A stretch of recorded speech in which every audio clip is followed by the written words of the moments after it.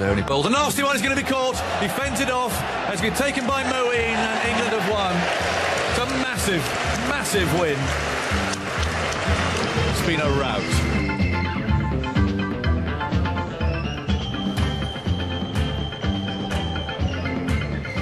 Well, woeful from India in the Test series. Excellent comeback from England. Eight days later, we're in Bristol for the start of the Royal London One Day International Series between England and India. I say start. I wonder if we will get any play today. You'll be aware of the forecast. It's overcast at Bristol. We've had rain since about 8 o'clock this morning. The covers are on. There are quite a few spectators in the ground, but the umbrellas are up. It's not very heavy at the moment. I say it's, it's raining. It's, it's very light, but the forecast that I saw this morning was for several hours of rain, perhaps clearing up uh, four o'clock, something like that. The situation is we do need 40 overs uh, for a game, uh, 20 overs each, and we reckon play can start at 3:47. That's the latest we can start. And the question is, is it going to be dry enough for the ground staff to get the covers off, get the ground ready, and have a start around about quarter to four? I'd, I'd be surprised if we get any more than uh, 40 overs today. In fact, I'll be a bit surprised if we get 40 overs. But let, us find out what the weather forecast uh, has in store for us uh, here here in Bristol. Simon King uh, joins us from the BBC Weather Centre. What, what do you say, Simon? Uh, yeah, hello, Simon. It's it's not looking good, is it? No, we've uh, as you say, we've got some light rain there at the moment, but just looking at the rainfall radar. Just towards the southwest, it's uh, some very heavy rain actually moving its way in. So it is going to turn pretty nasty there in the next 45 minutes or so. The rain is going to turn very heavy, and then for much of the day, the rain will be heavy on and off. Uh, but there are signs that it should clear away to the northeast from about four o'clock onwards. But I suspect with the amount of rainfall that we're going to see today in Bristol, we could be looking at about 20, 30 millimetres of rain there falling.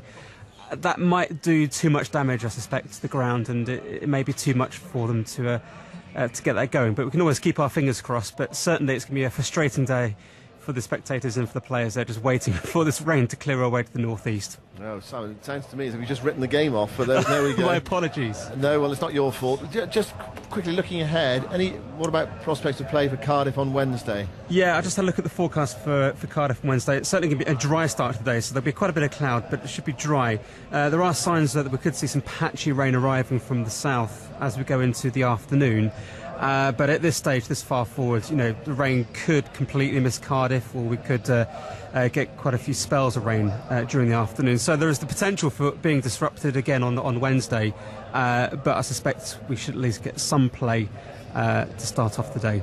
Okay, Simon, thanks so much indeed. I will talk to you or one of your colleagues, no doubt, on Wednesday morning. So that's the situation here. The, uh, the Super Soppers moving up and down the covers. It's not raining very heavily at the moment. They're trying to get some of the excess water off, but it sounds to me as though uh, they are fighting a losing battle with the forecast for the rest of the day. I wonder what the weather's like in London today because England are playing India in the third women's one day international at Lords. England two up in the series. What's the weather like there at Lords? Henry Moeran, good morning to you. Good morning, Simon. I'm afraid it's a similar scene here. The covers in front of me, the hover cover splayed out in every direction. There's not even a super sopper mopping up on the surface to try and encourage the crowd, the small, sparse crowd that's in, to think that we might get any play anytime soon. The rain has just cleared a little bit. The pavilion opposite me that looked so grey and hazy half an hour ago as the rain fell is looking a little bit clearer now. There's a few more lights on the balcony and a few more faces peering out of the windows of the team dressing room, wondering if there might be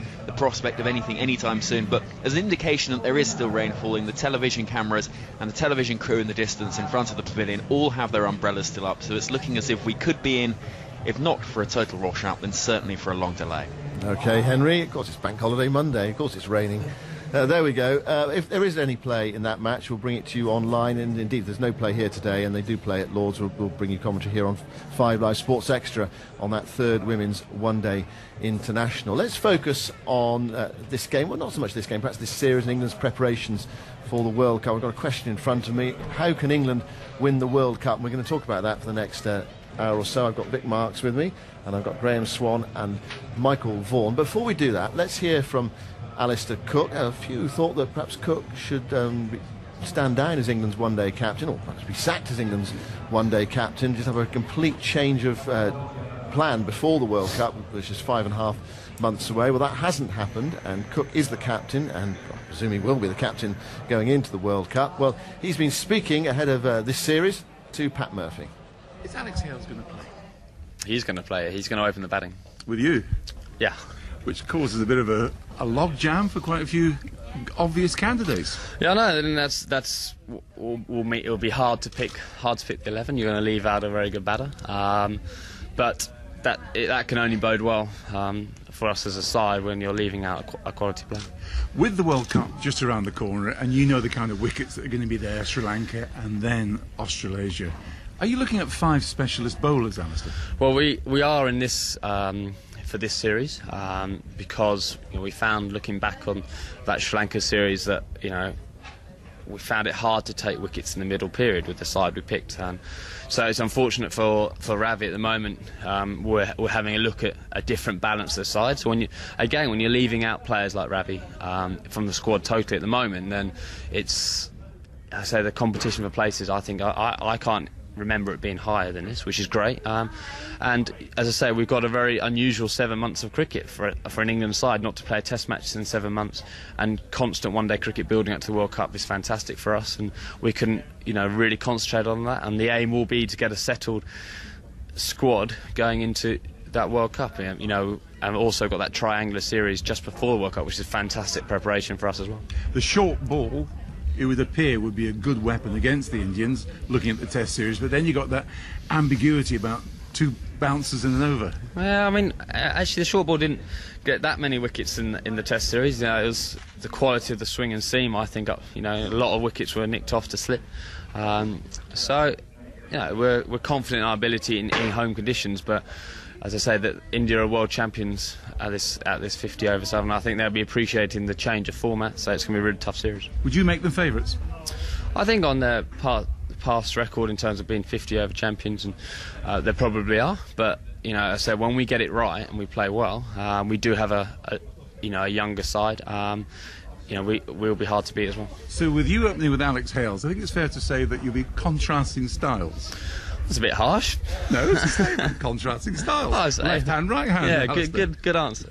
Yeah, I mean it's great. I mean it's great. He's forced his way in by some ex- know, outstanding performance for, for Nottinghamshire over the last month or so, really. And you know, he's played some T20 cricket and produced, you know, score 100 there, and he, he seems to like the big occasion. Um, you know, we know as a as a side that the top order need to score hundreds to to set up games of cricket. And over the last month or so, he's scored four one-day hundreds at a really good lick. So, you know, he's he's forced his way in, and it'd be really interesting to see how he goes. Um, you know, it's hard on Belly uh, in one way because we've had a really good partnership at the top who've been very consistent. But knowing that you can always revert back to that um, is a good place to be because it gives us options, and we and we need to find out what our best balance of side is over the next six months or so. And with Ian Bell back three, he will do, yeah. Yeah, it's it's interesting. As you say, it is hard then because you two have blended well. You opened 38 games together. Yeah, I mean that's the decision um, the selectors have gone for for this for this series. Um, it gives Alex a great opportunity to to stake his to stake his claim for the World Cup, which is fantastic for him. Um, but as I said, you know, when you've got people like the class of Belly, you know, if we want to go back, you can go back. There's no wrong with that, and uh, but hopefully Hales will take his chance. How difficult is the jump from Test match cricket, which has been pretty intense for the last month and a half, to suddenly having to put the, the one day head on? Mean, yeah, it's, well, we've we obviously had the seven Test matches in a row um, with Sri Lanka as well, so it, it, it has been a little bit of a, a, change. Also, it happened so quickly after the Test series, but I think this is kind of the start of our, our preparation to the World Cup. You know, this is very unusual for an England side to get this seven months. Um, it's great. It's a great situation to be in because you can really focus on the certain skills you need in one-day cricket. So um, we're grateful for that, and I say hopefully we can we can do well. There we go. Uh, England captain Alastair Cook. And while you were listening to him there, the, the rain has um, intensified here at Bristol. It's like rain quite steadily now. This revamped ground, uh, 15,000 tickets sold today for the game and the new the blocks of flats at the far end, wonderful place to watch from, and all the temporary seating as well. They have done a lot of work on this ground to, to make it into an international venue again. There's been no uh, one-day cricket here for four years, no international cricket for three years back on the circuit, but it looks as though they're going to be disappointed today. We're going to talk to the chief executive in an hour. Before we do that, let's talk to three people who have played in the World Cup for England: Vic Marks, Graeme Swann, and Michael Vaughan. Well, where do we start, Michael? Well, let's let's uh, and, and Graeme and Victor, let, us read out England's last team in, in one day cricket. The last 11 they put out, which was Cook and Bell, Ballance at three, Root, Morgan, Bopara, Buttler, Jordan, Treadwell, Anderson, and Gurney. And we don't know what the lineup's going to be today, but we know that Hales is going to play, or whenever they do play, perhaps on Wednesday. We know that uh, Hales is going to bat at three, at the open, and Bell is going to bat at three. So who drops out? There's no no Bopara, but they want to play five bowlers, and they didn't have five frontline bowlers the last time they played. So so what are they going to do? Uh, I, I would think that Gary Ballance will miss out because of Joe Root's off spin. I think they'll require that sixth option. They're going to go for the four quicks and, and Treadwell, who's done very well in one day cricket. Delighted to see Hales at the top of the order. It was crying out in the Sri Lankan series that England just needed a, a player of that class. You saw him score that incredible 100 in the T20 World Cup against Sri Lanka and then wasn't selected for the 50 over format back on home shores, which was disappointing. But now he's back in. He's got a great opportunity to continue the form. He's being picked at the peak of his powers in great nick. You know, he's just got to play the way that he does. And, you know, I think he'll, he'll help Alastair Cook at the top of the order because I think it relieves a little bit of the pressure off Cook that someone like Hales can come out and play. Um, I'm amazed and staggered that Ravi Bopara isn't here. I just think in the last year and a half, I've continuously watched Ravi Bopara. thought he's got getting better and better. I think he could quite arguably be considered, uh, in the last year and a half, England's best one-day cricketer. I think he's read situations. He's just starting to learn how to play.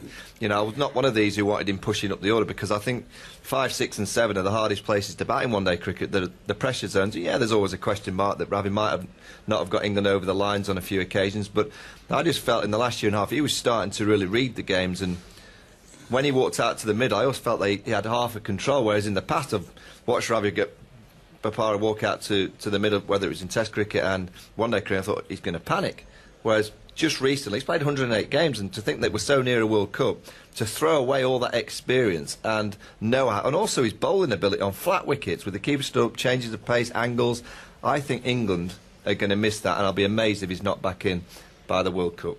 Yeah, there is a perception that he, he doesn't get England over the line. But actually, uh, the two uh, one-day internationals that we saw in the West Indies, uh, Graeme and I were there. He he was there at the end when England were, were chasing, admittedly 23 not out and 38 not out in two games in, in, in Antigua. Then there was the match, at, excuse me, at Lords where he was batting with Jos Buttler when he got out at a crucial time in the 45th over with about 50 to win, and they, they were going really well. They had put on 130 for the. And in the Champions uh, Trophy final the last Champions year. Trophy final as well, I mean, there's a stat. I think he's played 108 games. I think of the 56 that England have chased. England have won 23 of those games that they've chased when Bopara's been in the side. And of those 23 wins, Bopara's been knocked out on 13 occasions. So he has had a knack of being there at the end. When you're batting at 5, 6, and 7, I'm afraid you're always in at the pressure zone time. And you're not always going to get the team over the line. But I just felt the last year and a half, he just started to show the public, the fans, all of us watching that he was starting to become a really, really good. And his form for Essex, form for the Lions just recently has been exceptional. I think it's a real tough call on a, on a player that was just just starting to really pick up as an England one-day player. In this English season, uh, he's made uh, in, in one-day cricket. England have played six matches, three, three, seven. Uh, did not bat. 51 and 17. Those are his scores. Five scores in, in six matches. Those are the statistics. What what what do you say, uh, Graeme and Victor? I think Vaughan's got a very good point about Ravi Bopara. Absolutely crazy not to have him in the team. Hales should have been in this side for three years. He got 99 in a 2020 game against the West Indies at Trent Bridge. That's probably two or three years ago now. How the powers that be didn't see that as a future as an opening bat in one day cricket, not just 2020, one day cricket. Um, we have. I mean, I used to sit in the change room, and, and I always felt that we're so far behind other teams because we play such an old-fashioned brand. Um, when I look at the team we've got today, if I look at and these some of my best mates here, I'm going to read out, but Cook, Bell, Root, Ballance, they're, they're not one-day players who are going to win you a World Cup. Hales is going to win you a Cup. James Vince, Jason Roy, Jos Buttler, Eoin Morgan, they're players that I wouldn't want to bowl at. I, I wouldn't want to bowl at players who potentially could get you 360, 370 on the ball. But you make a, a, a good point. You that was three years ago. So Hales scores nine. Now, you've been in the side. Yeah. You're a senior pro. Don't you go and speak to the skipper or just knock on Geoff Miller's door and say, Geoff, come on, Oh, he can win. He can win us one day games. I wouldn't want to bowl at him, Geoff. I've been trying to get all the not sides in for years, but you just. my problem in the England team is I was seen as a bit of a clown, so, so no one ever t- took me seriously. Not just in the England. Yeah, well, team. we, no, it's not. I know. we obviously um, take you very seriously here. but I, I just think I, I would love, and I love the tentative step they've taken, putting Hales in here. And I love Cookie dearly, but I don't think he's should be bothering playing one day cricket anymore. Doesn't need to play one day cricket. He's proved a very good point in Test matches. Enjoy it. Enjoy being England Test captain. Let young people who just want to smash it everywhere and potentially win you the World Cup. Not this time round. We won't win this World Cup. There's no chance. But in four years' time, we might have a chance of winning a World Cup if we get all these young, exciting players who've been brought up on one day cricket, who have none of the baggage of this old fashioned style of cricket we still try and play. But I, I'm not sure I picked six out now, you know, smashers. I think there is a balance you can have. Yeah, you can in- have James you- Taylor in too. James, what about Mullaney? How's he going? He's, you want he's having a very good season. Ricky, Ri- Riki Wessels, he's doing very well as well. On Ravi Bopara, it's an odd thing that happened, I reckon, that in the last couple of years he's played a few innings where he has played like a god, but they've always been in a situation where the game is lost. And suddenly he comes out and he's hit 60 and 30 balls, and I think that's added to people's frustration, whether it's mm. justified. But he's come out in, the, in a hopeless situation with five down quickly, game gone, and then he's played like an absolute magician in a manner that he hasn't quite managed when it's a bit tighter sometimes. So that, I think that's the criticism that they have of him, that they don't quite trust his temperament, I guess. when Well, it uh, but he, he has just, it gives you so much more in, in the field with his bowling. He's an unbelievable fielder, and just take you were going back to the people batting sensibly to move it around. Joe Root, I, I said him earlier. And I shouldn't have mentioned it because he, I would build a batting order around Joe Root because he's proven that he can hmm. score and run the ball or more. Play And, and crazy his off spin comes in handy, doesn't he? Four or as well. five overs of Yeah. off spin. He's coming out. I'm just looking at strike rates here, and you know this is a different era to what it was five years ago, ten years ago. And the world champions, India. So that's the benchmark. You challenge the world champions. You look at England's strike rates. Yeah, they've got decent averages, but it's all about strike rate. Ian Bell strike rate of 76. Alastair Cook strike rate of 78. You go down the Indian line. Virat Kohli strike rate 89. MS Dhoni strike rate 88. Sh- uh, Suresh Raina 91. Dhawan 89. So you're looking at strike rates. We're 10 behind. You know, and you look at the two players that Graeme mentioned who could win as a World Cup and the kind of players that play in that fashion. Eoin Morgan strike rate of 92. Josh Buttler strike rate of 128. There's more players in the English game that bat in that kind of fashion which would help England be more. They might not win in, in England conditions when it's zipping around, but when you get to Sri Lanka, when you get on the flat wickets of Australia, New Zealand, small grounds, the likes of Jason Roy, Vince, Taylor, Hales, they're just brought up. Laurie Evans for Warwickshire, I'm not saying Britain, hmm. but they just whack it out the ground. Hmm. And English cricket, it's not been the first 10 overs that we all talk about that you have to come out of the blocks, which has been the problem. If you look at the stats, England are always 60 for 1, 55, 60 for 1. They're on about 7 or 8, 10 behind in terms of stats. It's those middle overs where the field spreads where the spinners come on. All right, there's five in the circle now, but England don't have the knack of hitting boundaries in that still period play with a- strong cricket shot. we play like a seem to be- 10-year-old game. Yeah, we seem to when we when we look to get the boundaries in that middle period when there's field, it looks a huge risk. Mm. You commentate when England are batting in one-day cricket. It, you commentate the ball going to the boundary because it trickles for four. You commentate the Aussies, the South Africans. You need to win. You go four because they whack it through mid wicket, through extra cover. The boundary riders don't even move five or six yards just to the right or the left. It's foot. That's what Alex Hales does brilliantly. Once the boundary riders go, he goes bang. Strong shots, they can't even move. It's four, and that's what England lack in the middle overs. Is actually so Cook and Bell get off to half decent starts, which they will do. The consistent players. It's those middle overs where England lose one day cricket. But I know why they do this because I, I've sat in these meetings for the last 10 years, or last five years, sorry, where it's done, uh, it was very much a statistics based game. So they'd say, this crazy stat came with it. If we get 239, this was before the field fielding restrictions changed a bit, so it would be more now, I assume. But we will win 72% of cricket games or something like that. So the whole game was was built upon getting this many runs after this many overs, having this many partnerships, doing this in the middle, working at four and a half and over. Which I mean, I used to shake my head thinking this is crazy because I remember Jonathan Trott getting a, a hundred in Colombo, and we walked off and we'd we'd batted to our our batting plan almost perfectly and got 242 and came off and Trotty got 100 in 120 balls and everyone said brilliant brilliant. They knocked it off in 29 overs. And it was just I mean, I, I do. we walked uh, out, but that's that's how we uh, always played it and that's why in the middle we always push singles because it was this is what we have to do to win a game. If you score at five and over and push the singles and save wickets at the end we'll win this many games and it's it's crazy Well, I, I mean, I agree with that because I remember sitting down listening to Eoin Morgan when he was captaining the T20, and people were asking, why don't you bat a bit higher? And then he unveiled a whole load of statistics. Well, actually, I bat better from the 11th over onwards, or something like that. So he didn't want to go in earlier, which, which mystified me because I, I accept that. You need to have more zip, more aggression, more people who can find the boundary uh, in that middle order. But what you're basically saying, both of you really, is like the Irishman asked for which way to go. I wouldn't start from here. You wouldn't. Neither of you would have Cook No, your I, captain. no, I wouldn't. No, and I mm. think we've made the same mistake now as we did in my time, did in the late nineties, did five or six years ago. We're picking one-day squads on Test form. Now, English mm. cricket has always had Test cricket at the pinnacle, and, and rightfully so. But they're so different the games now, and I think. From looking outside, I think England are looking too much at these two new, new white balls. Oh, you need proper players at the top of the. order. Actually, all the other teams have gone the other way. They've gone proper power at the top of the order and power all the way through. I think in times you used to try and look to have one power player, one in the middle, and one in seven or eight to try and finish it off for you. Well, now if you look at all the, again, you've got to look at the benchmark, the world champions. You know, they are the benchmark. They've got power of strikers all the way down. They've got six, seven, eight sometimes. South Africa, exactly the same. Australia, they've got power. They've got the Faulkners and Johnsons coming down at eight and nine and just clear the ropes. You know, so you need power not only at the top but in the middle and at the end. It's a completely different era because of T20.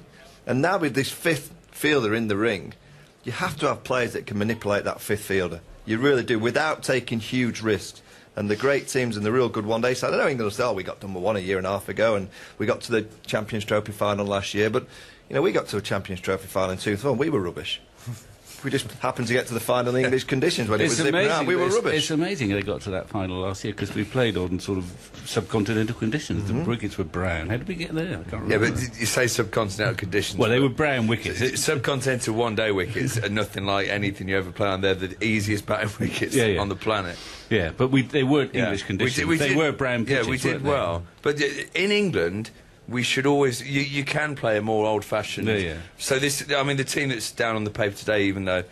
Um, You it probably won't be the starting eleven with Cook, Hales, Bell, Root, Morgan, Barnes. Those batters I said earlier, who won't win you World Cups in Australia, they'll probably do very well in England. Especially in these conditions, bit of, and Wednesday, bit of overhead, bit of zip around. 'Cause they'll you get- do need your yeah. touch player. a strike rate 240. Yeah, and a strike rate of 74 to, to 80 is Yeah. actually very, very good in English conditions. But when you go on these hmm. flat roads away from home and the ball's travelling to all parts, your strike rate's got to be up towards 90 or 100. It's, well, it's, it's quite simple. If, if you're not getting over 300 now in 50 over cricket on good wickets, you're not going to win hmm. games of hmm. cricket. You are making an assumption that in Australasia, in whenever it is, Yes. they're all going to be. I mean, I can remember a World Cup from way back.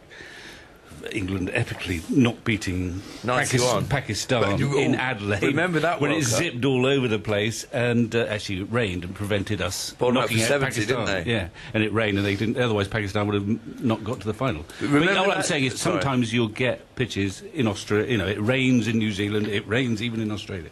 So you will you want a you would want a balanced squad that allows you to cope with those days where it's not a batter's paradise. I, I'd say in Australia that, that one wicket you can remember from Adelaide. I remember a lot of big scores at the time as Mm. well. I don't think you can afford to have three batsmen No, in the, the squad balance? for that one game. I, I think if you pick players, I, I know he's a nuts lad and it'll sound like, but James Taylor's in incredible form this year. James Taylor and Joe Root, if you put them in the in the order as your as your players, I mean Taylor can clear the ropes as well. Root is not a clear the ropes batter, but they can both score very quickly.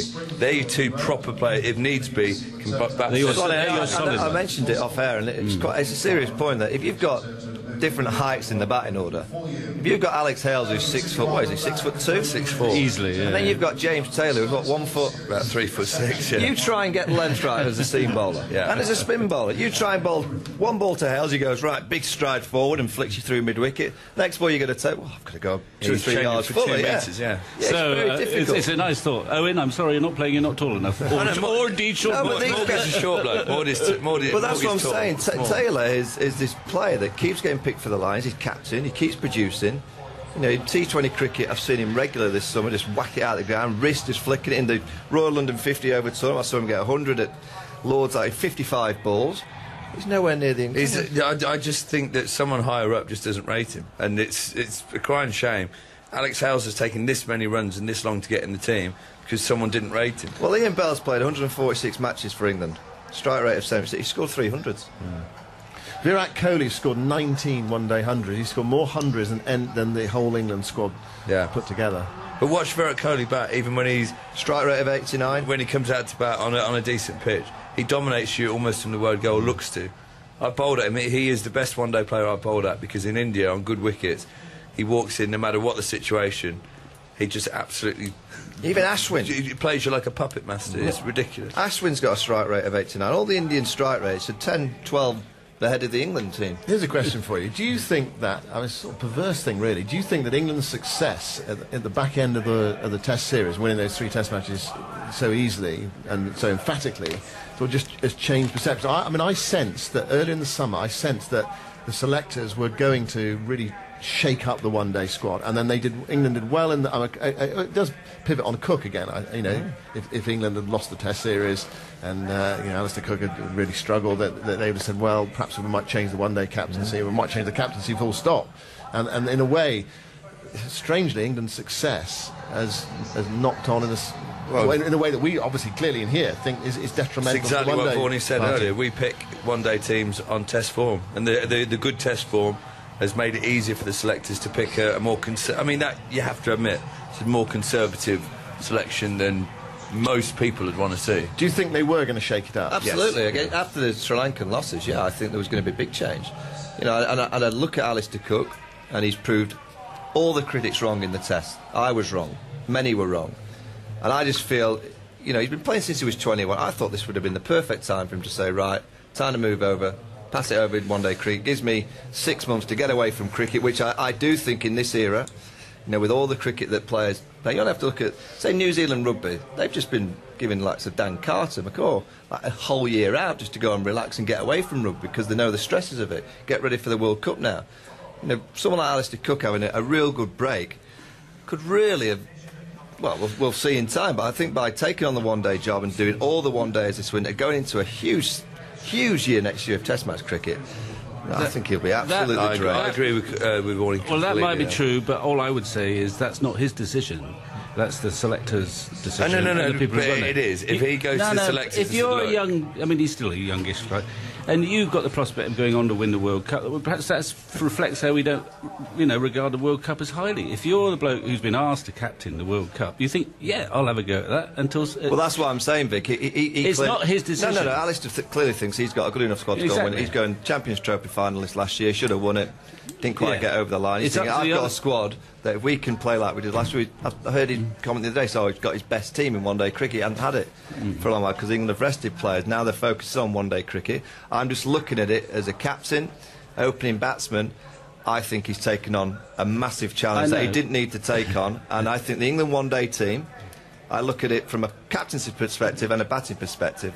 I think he's he'll do half a job as a, as a Yeah, yeah, batsman. but- I think he'll do okay. I don't think he's going to win England games as a tactician It's in one day cricket. I really don't think he will It's human that. nature to say, yeah, I'll do that. If you want me to captain the hmm. team in the one day, I'll do it. They could have done it to you all those Well, they years should ago. have done. But, You know, but- I- I and honestly you, but by the same token, then you could have said, no, I'm not going to play No, that. this is where this is where English cricket is a bit lopsided because when you're the England Test captain, you win Ashes series. I'm afraid you become. You can do anything you want. Yeah, you do. You, they Yeah, won't yeah. come to you.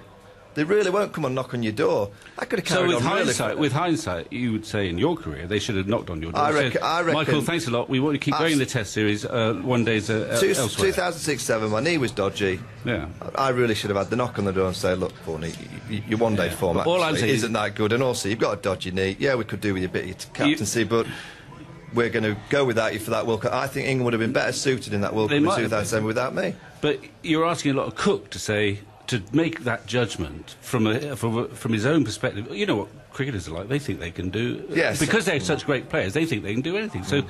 I all I'm saying that. is that it's not Cook's job No. to say.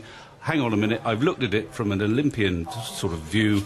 I think I better stand down. I- I when you, when you put it like that, I, I agree. Yeah. But it, it's but I'm not saying if I, if I try and put myself in Cookie's shoes, and he's the most stubborn man in the world, and he'll never. And because of what he's done in the test Yeah, yeah. test team, and he said, "Oh, I won't walk away from anything. I'll do it." I think he's almost back to himself in the corner where he's got to carry on. if he truly believes that this England team will win the World Cup, and I'm a I'm the biggest England fan going, I don't think we've got a cat and hell's chance. Well, the, I in mean, by your by your token, and, Oh, you're and- such an the, optimist. the interesting thought, if, if we go back two months after the Sri Lankan series, if, if we were the chairman and selected James McClure, we kind of come on, James, just, just write down your, your one day eleven for that first Yeah, yeah. India one. I would pretty much guarantee that it wouldn't be the eleven that's no, no, I, I'm sure that's Yeah. right. I'm sure that's right. And that'd have been a, a more forward thinking. I, Yeah, yeah. You know, again, in, in the magazine at uh, the Test match, I saw the, the quote, you know, one step ahead. I don't think England have been one step ahead. I really don't No. think they are being one step ahead in one day cricket. If anything, they're going one step behind. So, okay. But it's quite difficult. It's, it's, it was a very hypothetical conversation because the fact is, you two, and possibly, you know, I'd come with you some of the way, wouldn't pick about half of the people in this squad. No, no, no. I, I, I- I think there's three players who, if you changed, um, I, I wouldn't have Cookie and Belly or Garrett, Gaz Ballance in this team. The one that's in front of me. So I, I would have Hales, I would have Root. I'd have James Vince at Hampshire, who is very similar to Alex Hales, tall, strong. I'd have James Taylor from Notts. And then it was uh, Ravi Bopara. So they're the three I'd change. And I think. The bowler, bowler's happy with bowlers. And, and Brody. Yeah, Stuart Well, yeah, Broad obviously would he obviously come comes- back in. I'd change uh, probably Harry Gurney for Stuart Broad, unless you want, unless you want a left armour, and then probably Chris Woakes. I really think Ra- Ravi's bowling can be invaluable. With the keeper stood up, he, he's our best one-day bowler. uh, you know, in 2020 cricket, he wasn't used in, in World T20 finals, Yeah. and you know the stats told you that he was. Well, we might have to take him at face value and that they want to have a look at someone else, but they haven't ruled him out. I mean, he could easily Yeah. still appear in the World Cup. He could go to Sri Lanka. Yeah, he could do, and I think I think he'll end up back. in. But I just look at the lad. I mean, well, he's 17 games away from a World Cup. He's played 108, and he gets left out. So he, if he does come back in, all right, people say oh, he's got a point to prove. Well, he hasn't. He'll feel. He'll be looking. At, he'll, himself he'll be looking at the selectors and go, well, well, one one little mistake now, and I'm out. So. If you do bring him back in, you've really affected his mentality by, by leaving him out for this series. This is the big series for him. He's been building up to this all summer. It, it does feel like conservative selections. I mean, you, because I can, you can actually sort of almost picture yourself in that meeting, and you, you look at the players, uh, and you go through and you say, well, who we, who we leave out? Well, Cook, no. Um, Bell, well, no, not really. Uh, Ballance, no, no. You know, he, he, he deserves another chance. Root, yeah, he stays in as well. Morgan, well, he's got to play. You know, you know what I mean? You know, almost, it's Well, what almost happens, like that, Simon? isn't What it? happens, Rather than saying, Rather than actually, just saying, right, yeah. these guys, wow, wouldn't want to bowl it in, wouldn't Exactly. want to bowl it in. Well, wouldn't Swanee, what wanna- happens in it? You play test and you're with each other for weeks. You know, it's a long game, and you start to build the, what you call the, you know the unit, the, the squad, the you know the team ethic, the emphasis of all together. And I feel that in English cricket we do it so often, and then they've gone again in the in the one day form. If you look at the last five captains of England Test matches: Alastair Cook, Andrew Strauss, myself, Nasser, Mike Atherton. All of us Test players. All of us. All of us really were brought up playing forward defensive, top hand, leaving it just on and around the off stump, trying to play for a bit of time, you know, occupy the crease. And all of us were one day captains. You know, I just think back to the 90s when Adam Hollioake won that Sharjah tournament with a team, he was like the one day captain. He was a bit radical at the time. I remember thinking, oh, God, we've got a one day captain. What's all that about? I'm really feeling his cricket could have been in a better position now if we'd have gone with that a little bit longer. You know, the Adam Hollioake, the, the, the one day real specialist captain in the team and taking the group forward, I think would have been in a better position than we, we have been with all the test captains being the one day skipper. I mean, what is interesting is that in England's, as far as their batting is concerned, th- there are options, aren't there? There are exciting options. Um, I just wonder whether you just change the focus a bit to the bowling. I, I, I've watched a lot of England one-day cricket, and it, it seems to me that what they don't have, and what they haven't had for, for a lot, I don't know, forever possibly, I think back, but is someone who can come on in the middle overs, you know, chuck them ball after 22 overs and say, get me a, get me a wicket. I think cha- Steven change Finn the can game. be that man. Okay. Yeah. Who's I that, do. sorry? Steven Finn. Um, I think because the times when he's bowling well, and by all accounts his confidence is back and he is bowling well now. Um, he is he's, he's quick at the top of the order and he generally takes one or two wickets and he reverse swings it in the middle. I think Finn is that man. Honestly, do. I, but you look at the bowling, Sam, and you're right. That you, you look at you know the Anderson Broad, Finn, Jordan, Woakes, Treadwell, Root, uh, Ibapara plays, and that's why I look at the England batting and go, say Parr scores 260. I really do think that because of the bowling doesn't have the wow, they don't have 95 miles an hour bowler, they don't have mystery, they don't have a, a bowler. I just think if you can try and target 10% more of par, And by doing that, you've got to really put emphasis on the on the power of the batting. Then England will have great chance of winning games. If they go for par often, I'm not too sure whether the bowlers will win them that many games. But it's It the is- batting and also the power that you see that's not in the lineup, which is the frustrating. In times, England have picked the the kind of test team as the one day team because they haven't had too many options. Where we're in an era now, there's so many options and so much power out there that it would have been better suited, in we our got, we opinion. got the World Cup Yeah. here, but we might as We, well we take, better, it, we better take it away. Come on, 'cause Hey, start We'll be- engraving it, We'll start be, we'll be the only Englishman to get our fingers on this this year. I don't think we're going to win it next time. We won't see it for a while. Now that is the World Cup. The World Cup has been brought into our commentary box. Apparently, apparently that is the World Cup. I mean, some some trophies they have two or three of them, don't they? I think the FA Cup they have like two or three, just just in case. But apparently that is, Is the that World right? Cup. They have two or I think they do. FA Cups? Are you Yeah, sure? I think they do. Well, No, no, no, no, no. They They, don't- they they're on to their third FA Cup. Are they? Yeah, it was a, it was a new one this year. They had to mint a new one because right, the old okay. one was getting touched two Okay. times. Well, apparently that is the World Cup that England won't be winning uh, next. How would you year. describe this, Simon? Well, it's it's um It's got the world at the top. it's quite It's tall. like a it's like a cricket ball inside an egg cup. yeah. A, a fancy egg cup. Who Can we, needs me to can we chop the top off it to see what kind of yolks in there? Yeah, and if you go around the bottom, the little cricket ball's engraved. It's got England about four or five times. Oh no, it's not. Well, they have the runners up No, sometimes. no, it's not. So, is, have they got the under 19 World Cup in Victor, it? is That's it- got England on Victor, it is because it- I was in that team. We won it.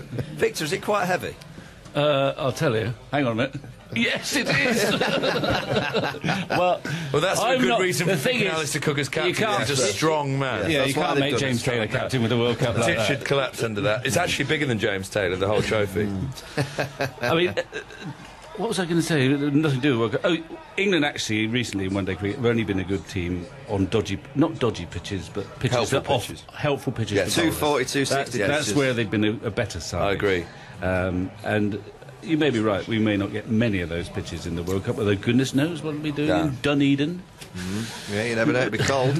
The, um, That is for sure. The, the times I played one day cricket and I, I'll freely admit I didn't enjoy one day cricket, especially near the end when they started messing around with the bowling, uh, the fielding restrictions, and stopping having your few more out. men on Yeah, it. I, I knew it was time to finish down. Remind us how many games you played of one day cricket for England. I don't know, sixty odd, 60 odd. fifty odd.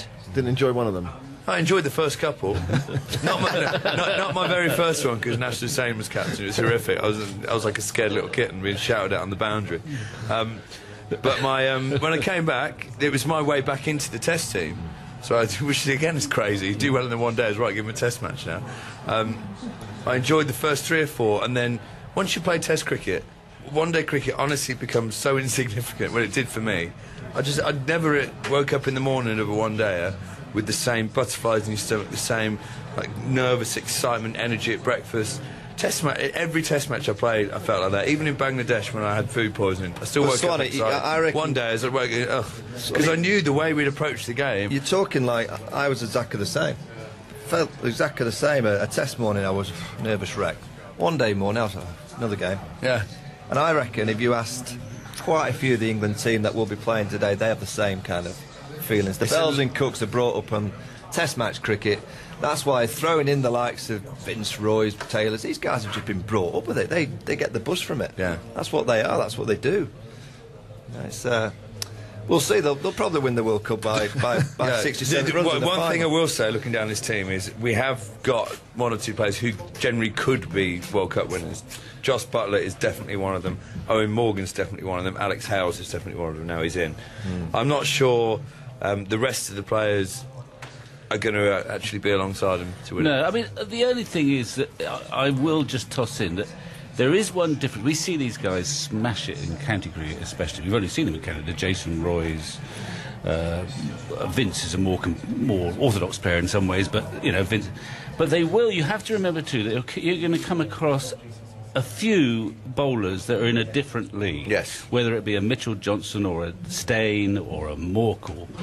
And you can't always guarantee, perhaps, that you know your specialist whackers, your Jason Roys or whoever, are going to be able to cope. Transfer with- to the next that- level, yeah. that, that, so that's why you know there is a case for having two or three, if you like, bankers amid the uh, But the bankers, the pyrotechnics. bankers are the- match winners, though. But Victor, the bankers got hammered in Australia in January time, six one.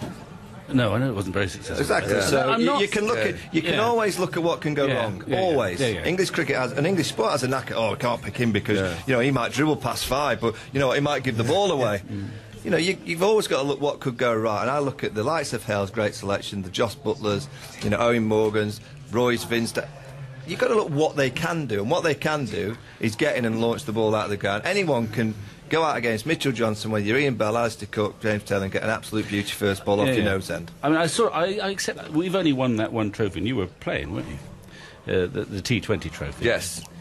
And I'm quite intrigued how that campaign went from the outside, because from the outside, even though I was in Devon at the time, it looked like you did adopt that philosophy. It's basically uh, glory or bust. Th- th- that's more or less and, uh, we are, what- and we're prepared to fail spectacularly, but that's the way we're Well, I'll tell go. you what happened in that. We were on tour in Dubai before going away to India or something. We had a, a holding camp. Uh, this is the England one day team. And we were due to play Pakistan, I think. And beforehand, we played a 2020 game against England Lions, who'd been touring round. And these two young lads, well, not one young lad, Craig Kieswetter, and Michael Lumb, were the opening batsmen for these teams. And we played and we scored a very sensible and very English. And, and we batted statistically perfectly, and we scored. Does that really happen? I promise you. And, and we scored 157, which was 85% chance of winning you a game. I swear to God. Really? What do you or get? whatever it you was. Does this get kind of presented This to is the yeah, team? presented. What the night before? However, now this is the start. So you, you, you, this is drummed into you. Really? Yeah. Uh, and then Craig Kieswetter and Michael Lumb came out and had 95 off seven overs against the England 2020 team that was going to go to this World Cup. And that night, Andy Flower sat in the bar and he goes, "I think we've got this wrong. We have to get these. no, but we have to get Yeah, these yeah. two lads in." And so they picked these two lads, and so you had. Uh, and I think at the time we may have had Cook opening the bat in 2020 or so. or- We certainly didn't have dynamic players all of a sudden we had Lumb and Hales at the top, Kevin Pietersen at three. We had the most explosive top three in world cricket. And then Morgie for. Paul Collingwood was our nudger and nurdler, but he still scored at Yeah, yeah. 100, strike rate of 130. And we went out there, and also we e- experimented with the bowling lot. We had s- with first team to bowl slow ball bouncers. Ryan Sidebottom was like, bowling wide Yorkers. No one bowled wide Yorkers before that. We, we dared to be different, and we walked, we breezed the, t- breezed the whole tournament. Yeah, you chased, mean, you, yeah. you chased up in, in pretty much most of the games, didn't you? One, Uh, won tosses and restricted, bowled those slow ball bounces. No one knew how Yeah. to deal with those three men on the leg side. Oh, what do we do Yeah. with this slow ball? We don't know where to hit it. Oh, well, it's straight down. I wonder cow if there's something, if there's, is there something new left But, for but this think about what's Underarm. happened since then. Mm. Like, that, that should have transferred Yeah. straight into the one day team. Mm. Mm. Lumb and, Ha- Lumb and Kieswetter should have been the openers. I mean, Keysy did it for a short while and was then cast aside because he was considered too mad. He was going for big shots early on, so it's just not. And, and he batted in Right. English conditions. It nipped Yeah. around a bit. He played a few aggressive shots. Mm. Right, let's go back to traditional. Well, so, so here's a question then. I mean, we, we, we've had this conversation where we've been talking for 40 minutes now. We all sort of, there's a, a sense of unanimity. I mean, Victor, you probably feel that. I've obviously got to be a bit cagey, but, but I take the point But- that it, you've got to go for it, uh, and it's better to fail spectacularly and have a chance of winning I than being agree, yes. safe. So we, that's we exactly can right. we can see that you you know you captain England, you play for England, you play for England. I mean, I've watched more one day cricket than I you know, took care to name really, but and it, and it's and that it's so startlingly obvious with England. So why do not the selectors see it and the coaches? Do you know, I'm going to say something, uh, and, and, and if the selectors are listening, they'll probably never speak to me again. selectors don't make the choices. Media The do it. England captain do. the England captain is the boss. You know, and the coach, you sit with the coach, and as I said, the England Test captain is so powerful. You know, I was, Straussy was, Nasser was. You, you basically get exactly who you want. So it's the skipper, really, who picks the sides, and you know the selectors are there. They're, they're the eyes, really, and they, they bring the knowledge of, of seeing the guys in county game. They'll sit around them and go, oh, "We've seen James. So this is what he does." You know, because the captain of England and the coach generally don't see all the games. They'll get the information fed to them, and then they make the calls. Really, you know, I'd be staggered if James Taylor, James Whitaker would go and said. Tristan Roy will be playing for England next week one day. I'd be I'm staggered if that happens. It didn't happen in my time. I'm sure it doesn't happen now. It's the England captain and coach that picks all the teams. Really, they get fed the information. Those two are the real pivotal members of selecting a squad. How, how important is captaincy then in, for a long campaign World Cup? Because obviously, in your hypothetical eleven, there's no Cook, there's no Bell probably. So Morgan is Morgan the captain? I'd, I'd say Morgan would be Yeah. the ideal captain. And how important is it? Do we overrate? No, the, I think- uh, do we overestimate the importance of the captain sometimes? No, I think it, it, I mean your, your captain has to perform, and he has to be a real star quality player in the side. You know, you look at you know MS Dhoni, the way that he leads India in one-day cricket, he's a different man to the way that he leads in Yeah, yeah. Test match cricket. Uh, Michael Clarke, I'd say that you know you could quite ar- argue that whether there's more strikers in Australia cricket than club. Where he's such a good tactician that he's definitely worth being out there as a, a tactician. He makes a difference with tactics and field settings and bowling changes. So he's the, one of the, the world captains that you can certainly see making a difference. And you know, that'd be Alastair's real challenge: is can he make a difference out there in the middle? No, not only with the bat, but when he's out there. You know, manoeuvring the field, the bowling changes, making sure that he's attacking at the right time. Swanee mentions Finn bringing him on at the right times to get rid of the key players. You know, Brody, slow ball Yeah, bounce yeah. in the middle, being aggressive.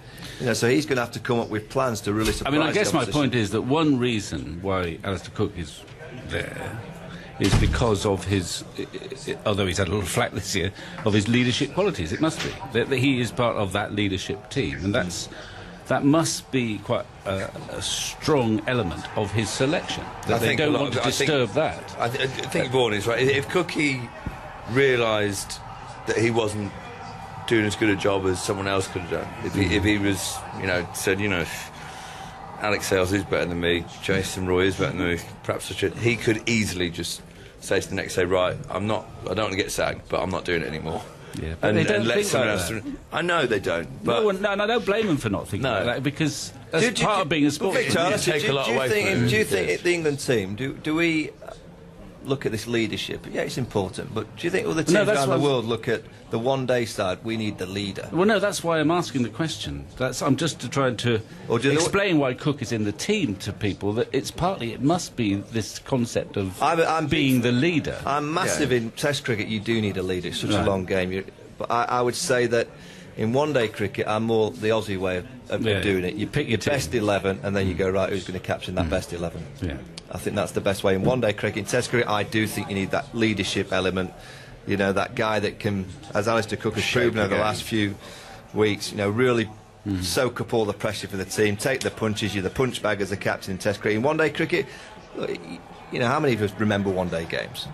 You don't but really remember them, well, do you? You just don't yeah, talk yeah, but about you've it. got to be careful. Yeah. You've got to be careful about that because that's what the big criticism of English cricket was. One reason, one reason why we never win the World Cup is because no one gives a flying fish about one-day cricket eh, within the English game. By comparison to India, they'd rather win. But I think they'd rather win the I- World Cup. Victor, I think the best message to have sent for us to start believing that was to start picking real one-day quality players, real making this. And I thought this was going to be the series where, you know, and again, two months ago, I think that would have been the Yeah, yeah. the statement, Well, right? In, in the Indian series, this is what's going to happen. X, Y, and Z are coming in. We're going to change the format. We're going to change. The, we're going to be a bit risky. It is a risk to bring these new lads. Only 17 games away from World Cup, but. I feel it's better. As, as what I said, we're probably not going to win it. So why don't take a, a, a younger set of players who have got that ability to strike the ball and potentially cause damage, real damage, and strike at 89, 95, which is what it's about in this era. Potentially, yep, might not win this one, but by the time you get to the next Champions Trophy and the next World Cup, could quite easily have a real power unit playing one day I'd cricket. Up with it. this era of one day cricket. I'd love to see that. Some of these properly young, exciting, vibrant players, just to just to completely strip away the old-fashioned nature of our selections and our one-day game. I mean, even the games I played in, I never felt we were a dynamic team compared to a lot of teams we were playing against. Always thought we had a chance in England. Days like this, rain around, Jimmy nibbling it around, Broad is going to be unplayable. Keep a team down to 160 and knock them off. That's not brilliant one day form. When we got to number one in the world, that's because we won about 10 games in a row at home against India and Sri Lanka. It wasn't because we were you know, due to go to Australia and beat them. When was the last time England chased down over 300 in one day cricket? Has it ever happened? They did it in can you have a look? Pakistan. They did it in Pakistan in uh, Karachi when Andrew Flintoff. We haven't toured Pakistan for 10 years. Play them in Dubai these days. They made three. They made 300 here against India, but they didn't. They only got 329. That's in 2000 2005. Four, yeah. so we're Uh, back near, near on 10 years. You, know, you look at these other teams, you, you know, I think if you look at some of the Royal London scores at the 50 over game, you know, there's 360 being struck. Well, nowadays in, in 50 over cricket and county level, uh, 300 is about a par. You know, you're not safe Yeah. for 300, No. are you? It's a, Well, almost there's a five, par five score. fielders in the circle. I really do feel that, at, you know, 330. Those some of those Aussie pitches, some of those small grounds in New Zealand. Yeah, I, I think 400 will be scored in next year's World Cup. Someone will get beyond 400. Well, should we Hopefully write, not I want to write down the team now.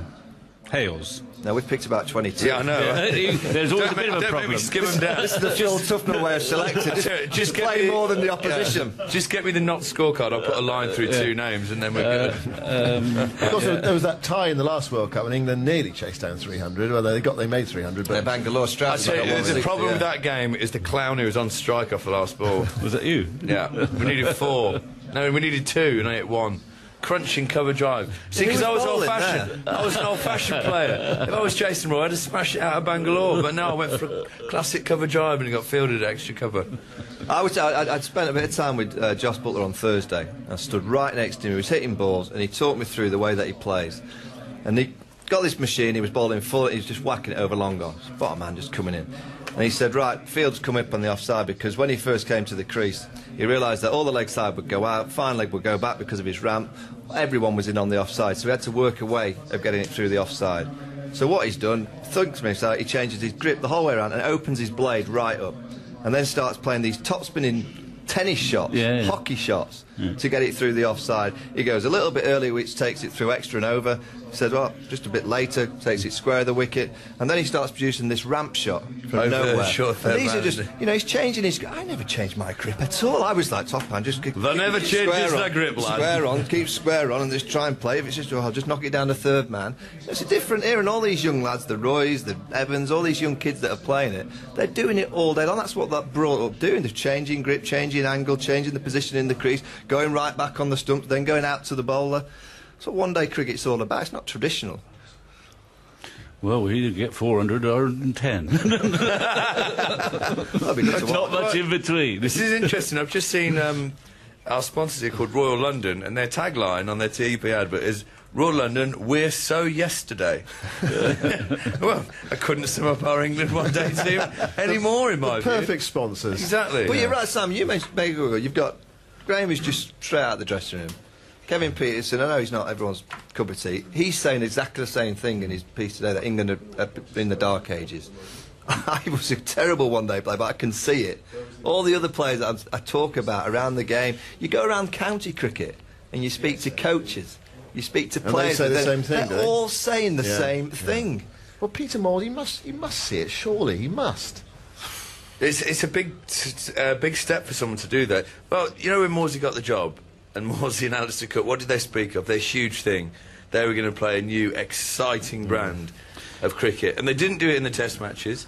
And they, they ended up winning the series, but it didn't change the brand of cricket, did they? But you'd surely think one day is ideally. The world knows we're not great at it, so any any improvement is a good improvement. But I think it's the perfect chance to just do it. Mm. Say to these guys like Perry, brilliant, you've been an unbelievable servant. You've done so well. Alastair Cook, thank you very much for all the games you played. You've been great, but we just think there's a better way to go. The um, the other point about that, though, is you- you're, you're changing your captain, you're changing your whole um, Well, so be approach So five be it. months before So the World it. Cup. So be it. We're not gonna win this why- World Cup. why Any, were right, this is the it first before? that England have got the best preparation of any team in Yeah. the world. Five months purely de- dedicated to one-day cricket. Most of the teams have got Test series here or there. English cricket has never had this. This is a no-stone Yeah. turn This is why we changed scenario. the That they, Ashes. this, exactly, the Ashes were changed for this reason to make sure that England got the best preparation.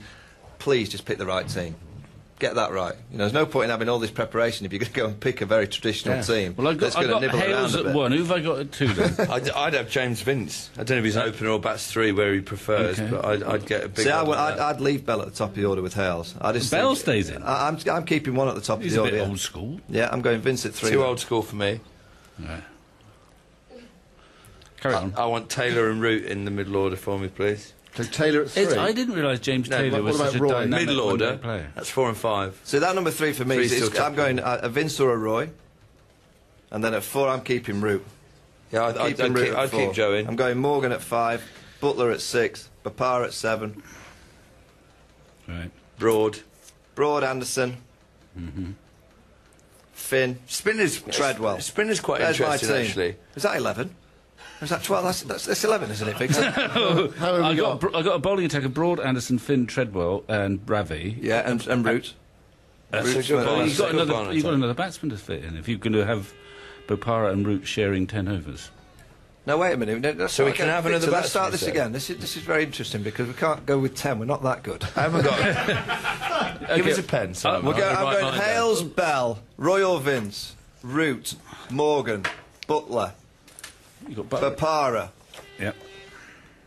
Broad, Anderson, Finn, Treadwell. Oh, okay, that, that's good. Sorry, 9, 10, 11. That's, Yeah. that's, a, that's a team. Thank you. I thought I got 11, Victor. So, one, one thing we haven't mentioned at all is the spinner. Um, Okay. Treaders is world class one day spinner, I think. Mm-hmm. I'm going to throw something in for you, cat amongst the pigeons. What about Moeen Ali? Because his batting is so much better than Treaders. On wickets, because Treaders' record in Australia was pretty average last year. Well, it's interesting. And they got, they really Treadwell got was interesting because I think in the last year, and we all feel for him, that the Aussies decided this Treadwell, we're just going to go Yeah. for him. And so. And uh, could that creates opportunities, but it can also damage your confidence after a But while. it, it, it does. It creates opportunities on spinning wickets, on flat wickets. It's the last thing in the world you want batters to do. Yeah. Because you know you've got barely any comeback if you're. Well, they, we've tried, they tried Moeen Ali at number three, haven't they, in, in I, T20? I, I, I, well, he opened the batting too in 50 over cricket in the Caribbean. and he's time. very, and he's a very good player. I don't. I'd have Mo in him because he spins it harder than Treaders, and he's not got that Aussie, Aussie sort of Yeah. um, black book that you know The the, the Aussies Aussies haven't haven't got after him got yet. after- yeah. Do you So think I- Treaders has got that in Australia? Do you think he's got a little bit of the... Uh, He will have. As a spinner, if you've gone to one area, one country where it's just gone bang, bang, bang, game after the game, you don't want to go and bowl there again. Because you know those players know that you don't want Yeah. to. but it's you know only against. Australia. I mean, we are playing all the other countries. Everyone knows every game that they watch it, they sit down. They think we can get after through it. it. He's got away with it against every other team. It's only the Aussies that really, and the Clarkes of this world, have just run at But it. that's in Australia on those wickets. They're the hardest wickets to bowl spin on in the world, the Aussie wickets. Anywhere else is a piece of cake in comparison. The old one is balanced, actually. I spoke to his uncle. Now, he may not be totally unbiased. Well, he's going to want him in, isn't he? i.e. Dave, No, he Dave, dropped him. Dave Houghton. yep. And he said, I'm amazed how well he's done in test level. Test level. He said, I'm amazed because he's a brilliant 2020 player. He said, Yeah, that's how he came up through Yeah. the Yorkshire Act, really. Made his name in T20 Yeah. and then... Well, to be honest, he's, he's just been a consistent performer. Any But format. can't he? I'm just thinking, isn't he perhaps one of those who can? I mean, he's done it at test level. He's changed tempo. Hmm. Just think of that hundred at Lords. I know we don't. ta where he suddenly changed tempo and just kept, you know, slog sweeping or whatever it is. He might. He might be in my team. Go on, in then, my Pete- squad. Victor, come on, write your team down. Oh, well, okay. I'm I'll, just I'll be back in about. bit, I'll be back in about half an hour. My best eleven. Well, Well, well, this is interesting because I think I probably will drop the England captain. I'm not going to do that. well, I've got Buttler in.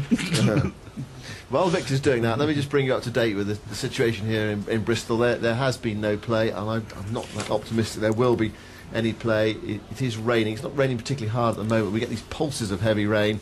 The ground staff are out there trying to take some of the water off the covers. There are a few spectators in the ground, umbrellas up uh, everywhere, and it's, it's grey and it's raining, and the forecast is for rain until about four o'clock. We reckon we need to be playing by 3:47 to get the game in. So clearly, uh, with this rain as well, it'll take the ground staff a, a couple of hours to sort everything out and, and get the ground fit for play. So we, you know, if it doesn't stop raining by, say, two o'clock, something like that, then we're going to be um, we're going to have a Simon, no play massive today. news, yeah. massive news here. Okay, what have we got? The last time. Do you, you don't. You don't want to hear This this. is huge most news. time. You don't want to hear. the last time that England chased over 300 to win the match. Come on, what do you reckon? Ye- ye- yesterday was it? Are you No. Uh, my last ever match. was it? My last Oh, in- ever in- match. in Barbados. In Barbados. Barbados, yeah. 301 for nine. Yeah. Do you remember? Because I, cla- I think I got 79. I got two for. Michael Vaughan said before the game, "If we ever chase 300, I'll walk away." and, That's the last time. and by your own admission, you shouldn't have been playing. I should have been even there. Right, I've got a problem picking. I've just picked, I've just written my team down, and I've got three bowlers. so I don't think I've got selection anymore. Uh, uh, Roy's right. I've got mine. Are you interested to hear it? Yes. Not Novice got three bowlers. in it, Okay, so- this is the 11 I've written down, but obviously I've, I'll have a 12 as well. Hales and Vince, I'm convinced they're the, the future. Uh, Taylor and Root as my nurdlers, but nudgers and nurdlers. Morgan Skipper, Roy, Buttler, Bopara, Broad, Finn, Ali. Jimmy?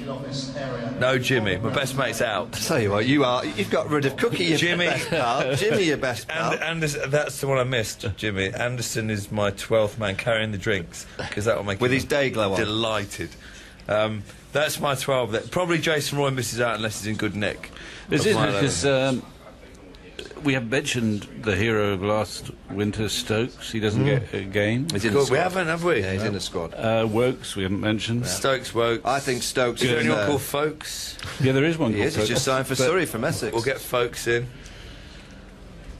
One, one thing that it's proven, it's all opinion, and it's it's very difficult to get an 11.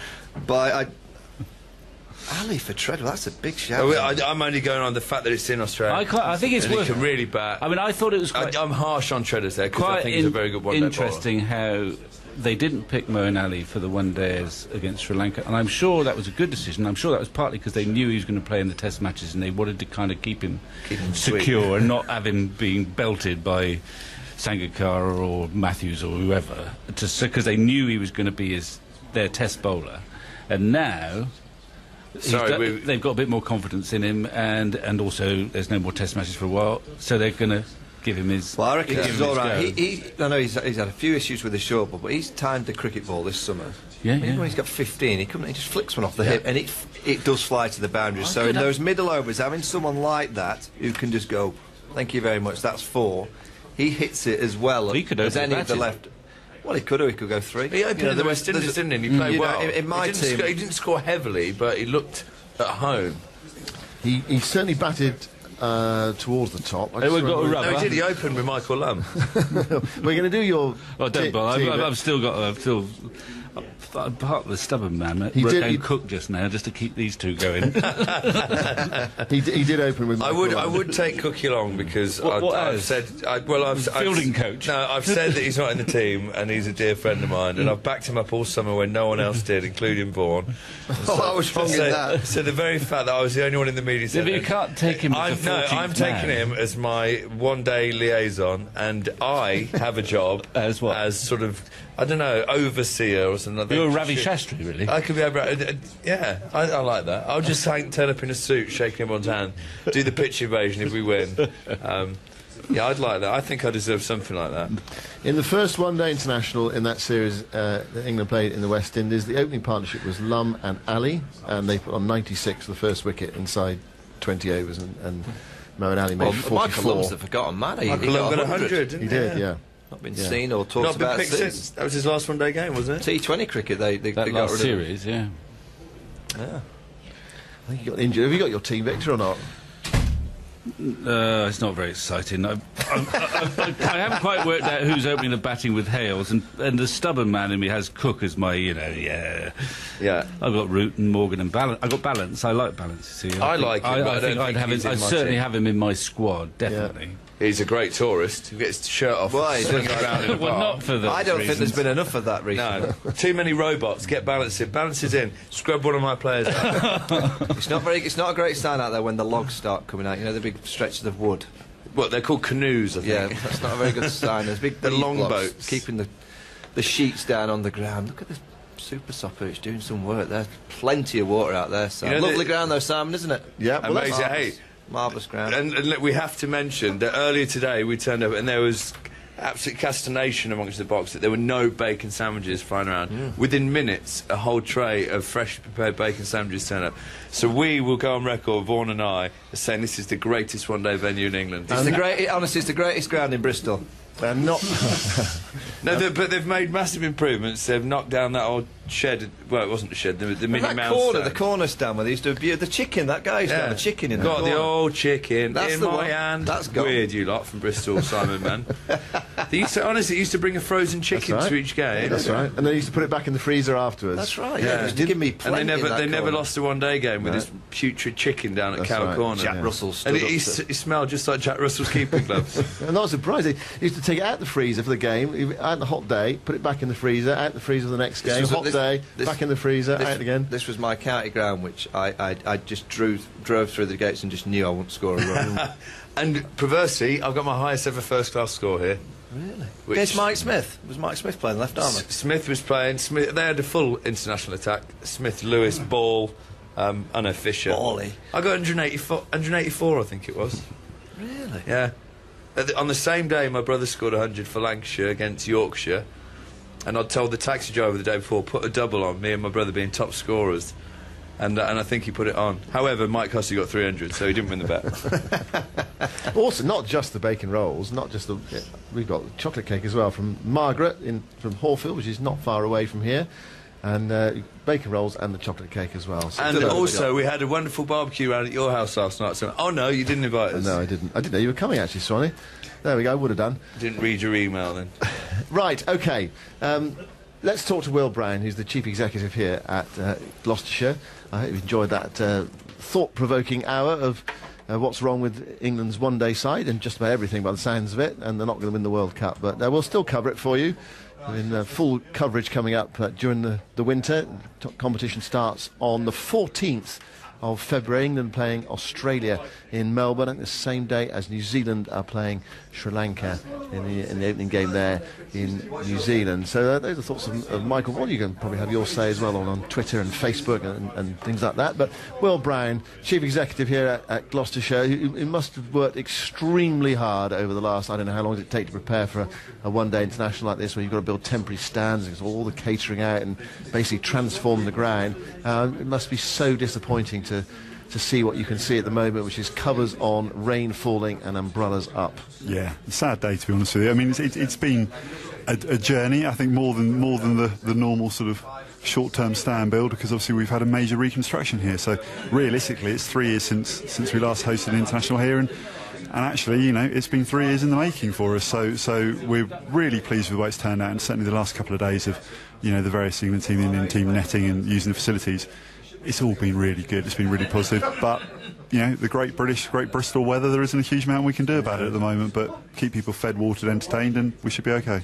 You must have looked at the forecast last. I, I, saw one on Thursday, and it said rain on Monday. Oh no! And it, and it, it, it can go wrong this forecast from that distance. But it's, it's so frustrating that basically. The, the, the weather forecasters, they said it was going to rain on Monday. They said Bank Holiday Monday was going to be awful for about three or four days ago, and it, it's turned out that way. And it, it doesn't always work out like that. The forecast can change, but I don't think we're going to get any play today. It doesn't look like it anyway. The, the rain will have to stop by two o'clock, and the forecast is, is not for that to happen. So, what, have the last couple of weeks been like? Has it been really intense? Have you been working for 18-hour days, or is it? Or you had it in hand by then? Do you know what? I mean, we've got a great team. So actually, there's a couple of guys, like uh, Peter Hall, our ground operations manager, and, and Lizzie Allen, who looks after the players and, and a lot of the ground stuff, have just been superb. I mean, they've been here for um, donkey's years, shall we say, and, and, and you know they've, they've seen it all before and, and they know what to do and how to do it. So, in some respects, it's been a bit of a back seat for me. You know, I've sort of been hanging on their coattails and, and, and rushing around and seeing what they do. But um, so they've done a fantastic job. I mean, it's always it's always a challenge. You know, first international for a few years with a new ground, but. Um, yeah, it, it, it's it's been a learning curve, shall we say, and a few sleepless nights, a couple at sort of three in the morning when you wake up and think, is that the child that's woken me up, or is that my own brain ticking over? Now, 15,000 people in the ground. If we don't get any play today, um, and some will be listening on their radios out there, and perhaps some haven't turned up today, might be listening at home wondering what happens next if they if they don't get any play. What happens to the, the money from their tickets? Yeah, well, there's um, there's basically there's two things um, really can happen. One is a, a, refund policy. So if we didn't have any play at all, um, there's actually addresses information on the back of their tickets, um, and they essentially send their tickets off to the address on there, and, and they'll be refunded the full amount. Um, if we play, um, a certain amount of overs. That, that obviously varies over time. But if there's a full match cancelled, then they get all their money back.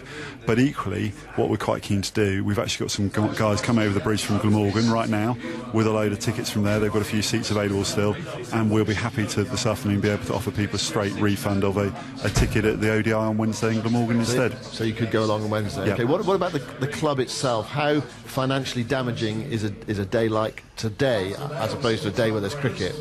Yeah, it's, it's not great. I mean, from a ticket point of view, we're insured, so we're covered on that side. But it's everything else that goes around it. You know, it, it, it's So you make loaves from beer sales and, it's a and beer sales, it's a, exactly the burgers and everything else that goes with it, and and so that's where it tends to hit us in the pocket, and that will that will be that will hurt us a bit. Um, but it's also about you know we're trying to encourage people to come to county cricket as well as international cricket, and especially with new facilities. This is the first time a lot of the guys would have actually been up here and seen them since we built it, and it would have been nice to have had a nice sunny day where they would have come along and wow, you know, especially sort of memberships where we've got you know all T20 matches and every single weekend day of cricket for 90 quid for a year. You know, the reality is we wanted people to come along and sort of leave hopefully thinking, do you know what, that was a good day out and, and that's something that's worth buying. Yeah, well, nothing you can do about the weather. We know, I mean, Edgbaston suffered recently. They've had a, a terrible run with uh, cricket up there, losing Test match days and, and one day international days, Headingley as well. It's just, it's one of those things. What about the future of international cricket? Here, it's the, it's the first one-day international here for four years. It's the first international cricket for three years. There was a T20 game here three years Yep. ago. That was the last one, and you, you, you sort of ducked out while the ground was, was being developed and upgraded. And, and those of you who haven't been here, there's there are blocks of flats now at the, the far end of the ground. A wonderful view. If you've got one of those flats, it's magnificent place to, to live if you love your cricket, uh, o- overlooking the ground. It's given the, sort of, the, the ground a more of a sort of sense of, of theatre, especially with the, the, the temporary seating away to the left-hand side as well. So the, the ground has been totally redeveloped. What about the future of international cricket here? Very high on our agenda right now. So we've got, we've got, haven't got any next year, um, and then we've got a Sri Lanka match in 2016. And One day international T20. Uh, to be confirmed. To be confirmed, so we don't know for definite yet. But um, what would you prefer? I mean, they, they both they both sell pretty well. I mean, it's, the, the challenge I think with, with quite often with Sri Lanka and the lights, it'll be quite early on in the season. Um, and you know we know that some of the ground struggled this year in terms of sales early in the season, especially with having a lot of the T20 matches pre the Lords Test match. I think a lot of people in England wake up to cricket post the Lords Test match. So, so actually, I think hopefully we'll, we'll, we'll see some of the Test matches played first, and then into the one day or the T20 series. Um, but we'll, we'll be happy. You know, we've always sold well against Sri Lanka. I mean, to be fair, we've we, we've, we've never sold less than 90% of our tickets for any any match we've ever played in Bristol. So we've got a good sellout record, which is, is key. Um, and we're just about to enter the bidding process for the period 2017 to 2019, which, as you know, has got some cracking international um, theatre matches. You know, in terms of sort of international cup competitions. Champions Trophy, the men's and the women's Cricket World Cup, um, and we think we've got a pretty good shout. I mean, you know, always sold out, sixth largest city in England, 16,000 capacity, good transport infrastructure. We've genuinely got a, a, multicultural city in the way that, you know, I, I think I lived in London for 15 years, and, and London's the only comparison I've ever seen around the country. There's a lot of countries which have a, a large sort of, you know, two or three large distinct populations, but Bristol, you know, got a big Pakistani population, big Indian population, big West Indian population, you know, big Bangladeshi population, big English population, to go on and on. So we're, we're, we're quite happy to just take anything on and, and, and you know, be confident that we can sell what we're given. Plus, one thing we're really, really keen to get the Women's Cricket World Cup here as well because we've actually got the highest percentage of, of female members and spectators of any county club in the country, and we think that's sort of, you know, so we, we've got a lot of ladies wanting to come and watch the men's game and the women's game, and you know, a lot of blokes are happy to do that too. So, so you know, that, we, we think we've got a good shout. We've got a few steps we've got to make first. You know, I think the, the shame not to have the match today in terms of the atmosphere. I think the facilities have gone down very well, and we're really pleased with the approval we've had for that. Um, floodlights is next on our agenda from a bill point of view, and that'll be quite key for the 2019 Cricket World Cup. That's the only one we, we definitely need them for, but it'd be nice to have them for T20 as well. So, so what's the, what's the plan with the floodlights? You, you definitely getting them, or, or, or when when will you get them if you are going to get Well, them? Well, we started residents consultation um, about a month ago um, with a view to putting planning in probably in the next four weeks. Um, what we'd like to do is, is hopefully have an answer and obviously a positive answer um, pre end of, by the end of January 2015, which is when we've got to have submitted our sort of formal bid for future internationals. Um, and it'd be lovely to go into that to be able to say, do you know what, we've got permission for floodlights. If we can, we put them up pretty much straight away. We've, we've, we've got the money put aside. put them up over winter this year, hit the T20 season next year, you know, with that later start. Because one of the challenges in Bristol is the 5.30 starts. Fine, you know, we get good crowds through the door, but if we could push it back to 6.30 or 7, it gives all the guys and girls from the City Bowl a bit more time to get up here, gives the guys and girls from north of the county up from Cheltenham and Gloucester the chance to come down as well. So we, you know, that eases the traffic round here because Bristol big city and everything goes with it. So, so you know, we, we, there's a lot of positives on the domestic side from floodlights as much as there is from the international. Yeah, uh, local residents. I mean, it's understandable, I suppose. Uh, there's been some resistance uh, to progression. It might be the, the, the best way of describing it in Bristol. I mean, you've had some problems here transforming the ground. Bristol City had problems building their new yep. stadium. In fact, that's been abandoned now. Um, Bristol Rovers had problems uh, for, for a while. I think they are moving now, aren't they? Although they, their relegation means that um, I don't know whether money's necessary. I don't know whether they're going to actually move. But they did. They they've had a few hold ups as well, trying to move away from the, the memorial ground, which you can see the you can see the floodlights peeking over the the. Uh, uh, houses away to our left-hand side. There, there, seems to be a, a, bit of a resistance here. Um, so how confident are you getting those floodlights? I, have got to be careful what I say because we've got the mayor and the Lord Mayor downstairs right, right now. So, uh, and I think the chief executive from the council too. But no, we are optimistic. I think would be the phrase. Look, I, I, think everyone would admit to the fact that Bristol has had its challenges when it's come to planning permission, especially around big sports events. I think Bristol's a, a great city for, for on all levels. You know, artistic, cultural, sport, musical. You know, it's got a really strong heritage but but sometimes I think we need to sort of step up and, and, and actually people to, to put their money where their mouth is in terms of supporting these things. And what we found is when we built the flats, um, because they're large and they're beautiful and they're large and they, you're right, you know that, that sense of theatre. The players love playing out there now because it encloses it. And even the days when you've got a reasonably low attended county championship match, it's just the noise of the you know ball coming off the bat is, is a lot louder. You the applause goes further and everything goes with it. So they love that. But that was a challenge. But floodlights, local residents seem to get it a bit more. You know, they can get the link. It's a lot easier to say these are for cricket purposes. You know, and and they're always been happy. To, they've always been happy to live near a cricket ground. So.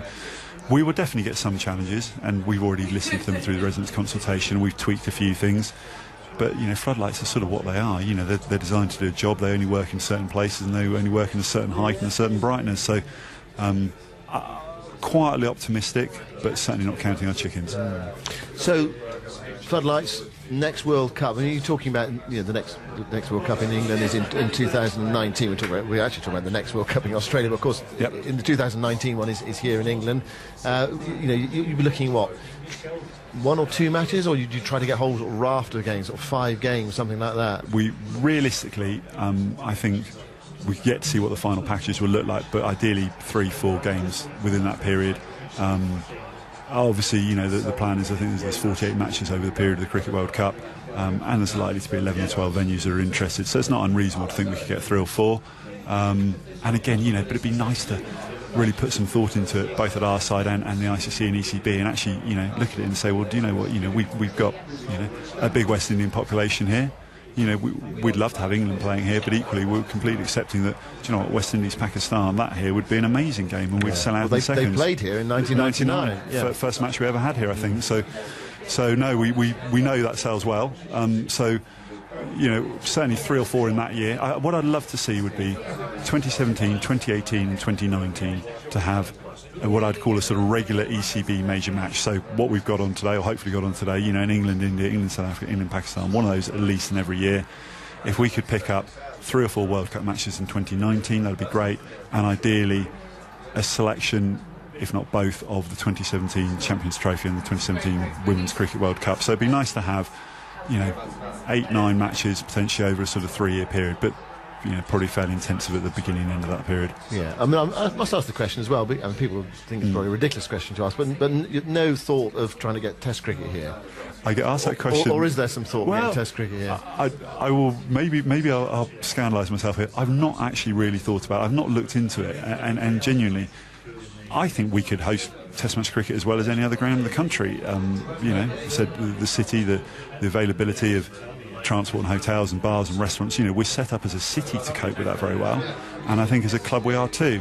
What I don't yet understand, and I honestly haven't looked into it, is if someone turned around to me and said, "Well, I'll tell you what, all you need is 500 more permanent seats." and then you've got your, your category A status and your test match ground, well, I'll probably do it in a flash.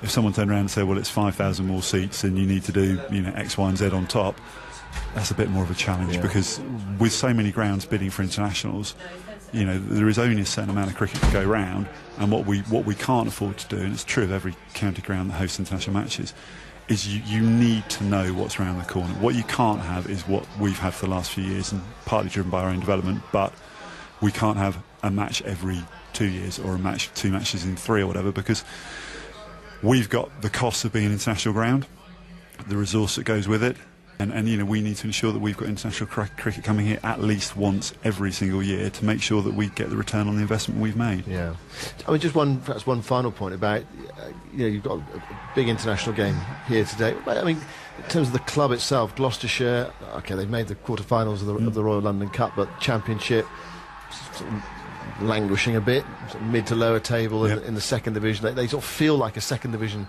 Yeah. club now. Can international success, i.e., staging games, have a, a filter down effect? uh, You know, into the team, and, and so you can sign better players and, and pay, pay more money. Yeah, yeah. I mean, essentially, it, it is it is largely financial. Um, the more international cricket we we look, we have the lowest squad expenditure of any county club. You know, and, and, and you know we're not we're not ashamed of that fact because actually you know that's what the, the, the situation's dictated, and also we've got a tremendous track record of, of developing academy players and youth players and through. So so you know we we have a small squad, we have a tight squad, and a squad that we've sort of developed ourselves, broadly speaking. So we're sort of happy with where we are on that front, but absolutely, you know, we've developed the ground to a standard which works for spectators, works for media. But what we need to do now is put some money back into cricket. Now, in my mind, that could be about players, buying players, but actually, I think it's about playing facilities as much as anything. It's about, you know, John Bracewell uses the phrase, the sort of destination club. It's about, you know, putting some money into the you know decent physio rooms and a high performance centre so the guys can actually so cricketers can come here and say this is an international ground. I can achieve what I want to achieve as a cricketer here at Bristol. Um, and and so a lot of that comes through financial means but equally it's about continuing to develop from the academy and everything that goes with it. So so so I, I, I think you know from the point of Gloucestershire I think the future is definitely a bright one for us um, our membership's growing for the first time in about 10 years gone up by 30% year on year and I think we've got a story to tell now there's a bit of a buzz about the place and, and I think we can a bit more energy a bit more drive tap into that Bristol and the Gloucestershire market in terms of members, and all the money that comes through the door, we'll put it back out there on cricket and, and for county cricket to, to make sure we've got a squad that can be genuinely competitive in as many formats as we possibly can. Okay, well, commiserations today, but good good luck for the future. Thank That's you. Will Brown, the chief executive of Gloucestershire County Cricket Club. I say commiserations today because it is raining out there, and the prospects of play uh, look bleak. I have to say, the, the forecast is, is not good. It has not been called off yet. It's only 25 to uh, 12, and play can start as late as 3:47.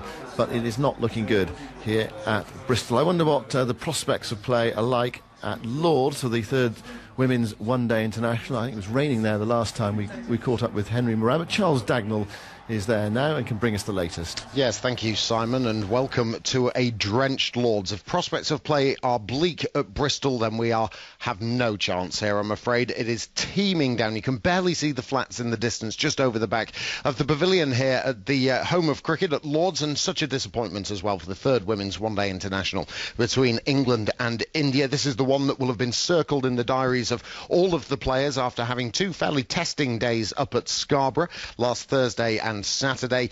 They'll have no doubt been itching to come here and play at the home of cricket, and all that greets them is just solid, hard rain.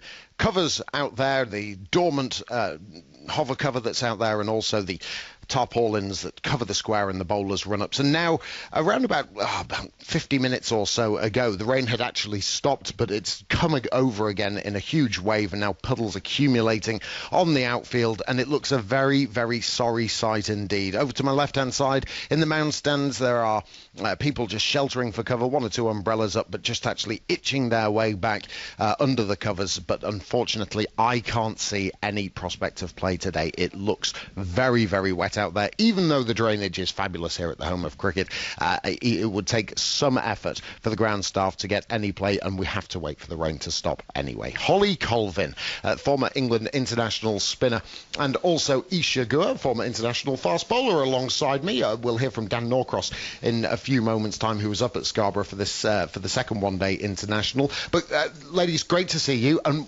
this is a huge disappointment for all the girls, isn't it, Isa? Because they will have had it marked. Yeah, massive disappointment. Um, it's very rare for them to be able to come here and play. Uh, they get one game a year here.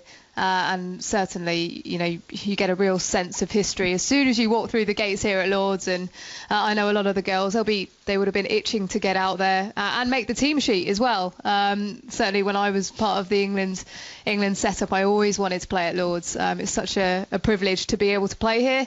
Uh, and also, it wasn't going to be a dead rubber because England have already won the series, but because of the ICC Women's Championship, they still had two points up for grabs. Just explain that a little bit further. Uh, the ICC Women's Championship uh, come into play prior to this series, uh, and and also it's uh, underway over in Australia between Australia and Pakistan. Mm-hmm. Um, it means uh, it's just a qualification for the 2017 World Cup. So you get two points for a win. Uh, and it goes into a, a league table, uh, and I think it's the top four teams that qualify immediately, uh, and then there are playoffs for, for the rest of them. Holly, great to have you along. It's so disappointing that there's no cricket for you to commentate on because I saw some tweets from you that suggesting that uh, you were desperate to come up here on, in the Test match special box and, and, and talk about the girls.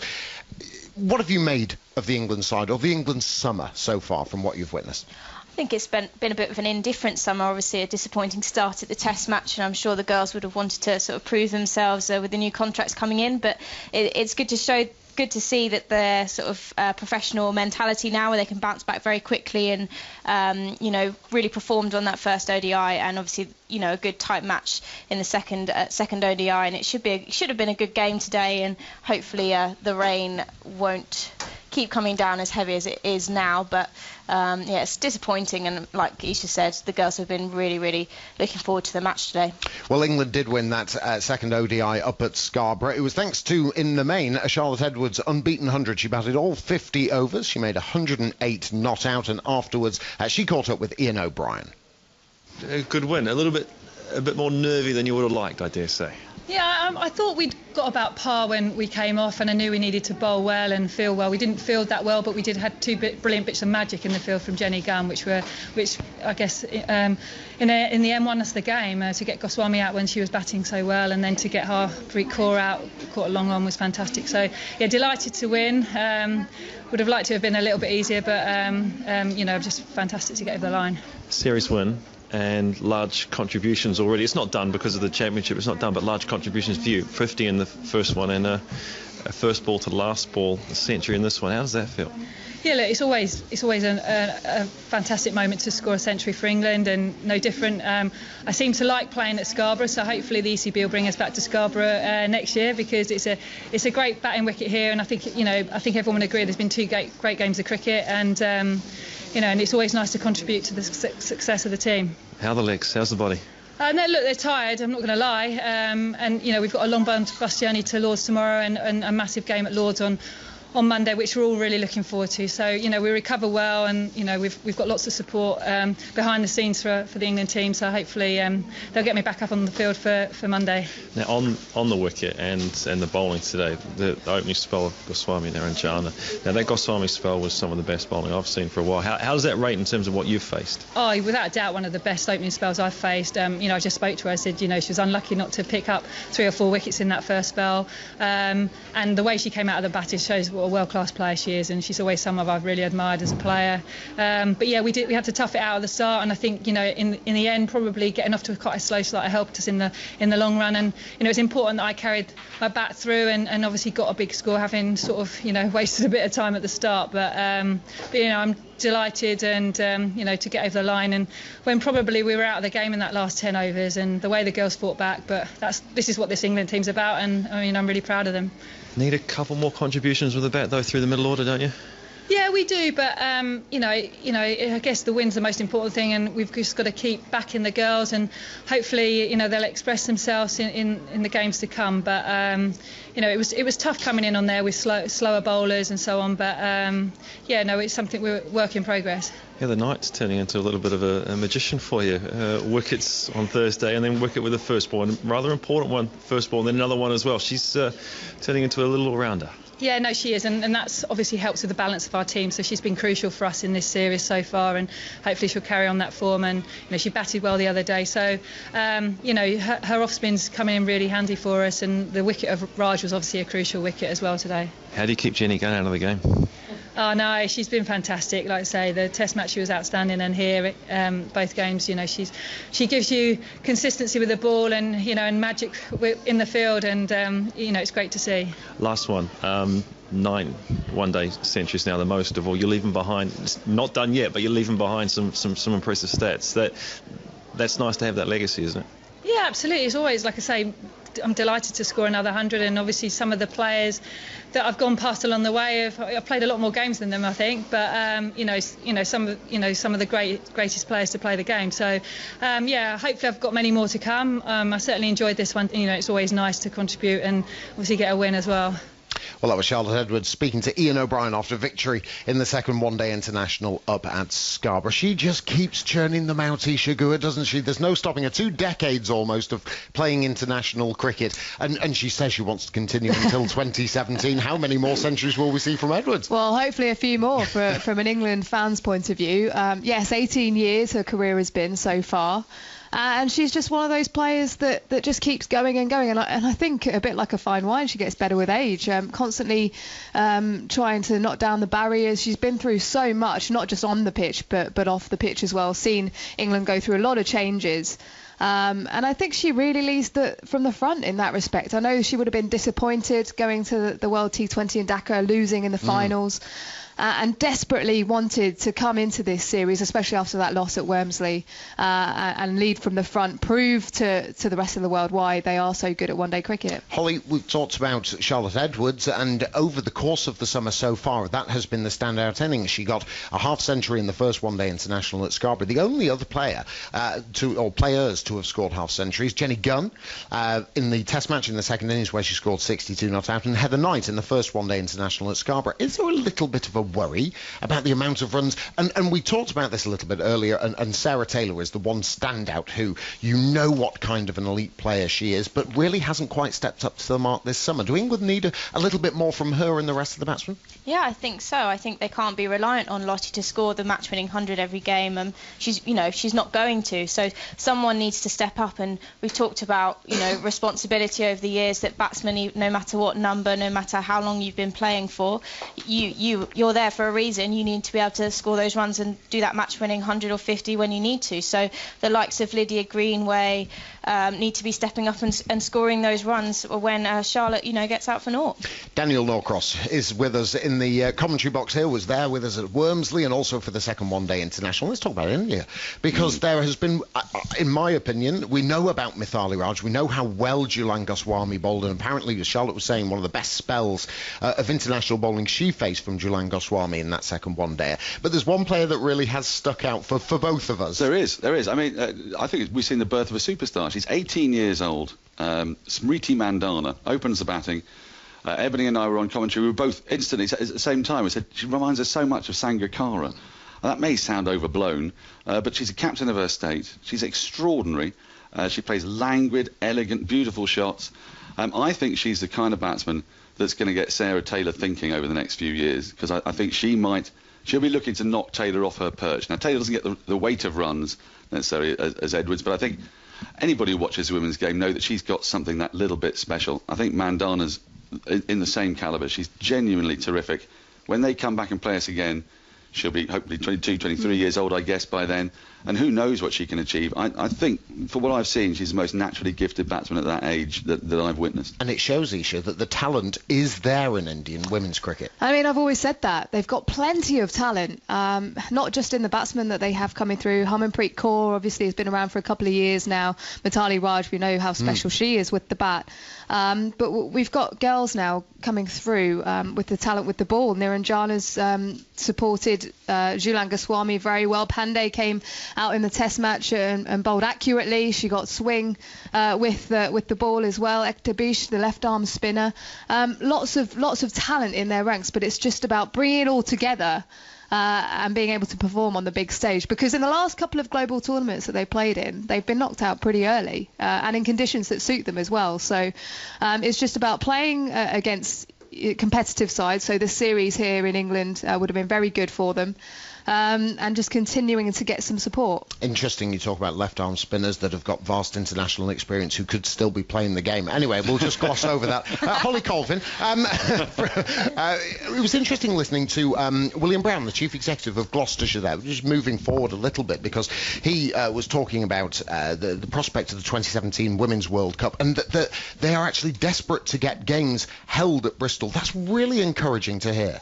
Yeah, it's, it's great to hear that you know all the different grounds want to host women's cricket. That they think there's a real market there. That people want to go and watch it. So it's fantastic, and I, I'm really looking for, forward to that sort of tournament coming to England for the you know for the first time since I've been around anyway. So uh, it's it's really exciting time for the game, and obviously um, hopefully it can be at Bristol. It, it, the T20 at Chelmsford last year. You know, there was Mm. 5,000 people, and that was, and, and the interesting aspect to that was that it was for, for a standalone women's game. Yes, during the, the T20s at the Ageas Bowl, uh, it escapes me, Durham, I think it was, where, where the other T20 was, when the Australians were over. Uh, it was the women's match first, then the men's match afterwards. But this was for a standalone T20 match that that that, that, pe- that amount of people had come, which again is hugely encouraging. It is, and it was a complete sellout. Um, f- and, and really positive that so many people wanted to come down and just watch the women's match because quite often it's tagged along with the um, on the front end of, of the men's game. Um, so people are actually going to watch the men play, but they get to see the end of the women's game um, as they filter in. And and I think Essex did a, a wonderful job to be able to promote the game.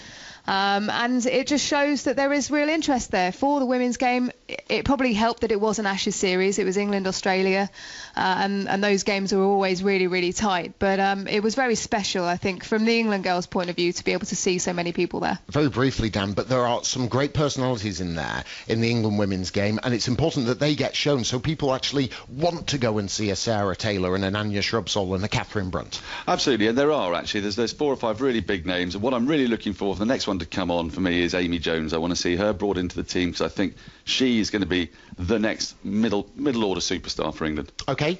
Holly, Isa, Dan, thank you so much. It's a very sorry scene here uh, at Lords. Usually the pavilion, as we look out over it in the sunshine, is smiling at us, but it's looking a little bit sorry uh, at the moment. The russet coloured pavilion, as uh, so famously looks here at Lords, and round the entire ground, puddles accumulating and just sliding down the slope towards the mound stand. So no prospect of play anytime soon here, Ed, I'm afraid to say, but if there is, we will keep you up to date, and if there is, uh, there will be online, bbc.co.uk forward slash cricket. Thanks, Charlie. Well, I'm afraid the scene here at Bristol has not improved at all. The, the sort of super mopper is going around the outfield and bringing up puddles and then probably putting them back out again. There are huge, great big areas of standing water on the plastic covers on the square, and it's really looking rather gloomy. I'm going to ask Victor a question actually about West Country weather as our resident West Countryman in a second. But first of all, E- Ebony Rainford Brent is here. Um, morning to you, Ebony. Morning. Just uh, been good to get your thoughts on, just generally, just we'll talk about the the men's ODI in a second, but the women's game in general and, and the conversation we just heard there with Charlie and everyone. Yeah, I think the, the England women's uh, game's in a good state at the moment. Um, obviously, coming off two good wins um, in the T20. I think the Test is a bit of an anomaly, really, because women don't play Test cricket very much. India hadn't played in eight years, um, so England losing there was yeah disappointing considering you know the the amount of investment in them, but.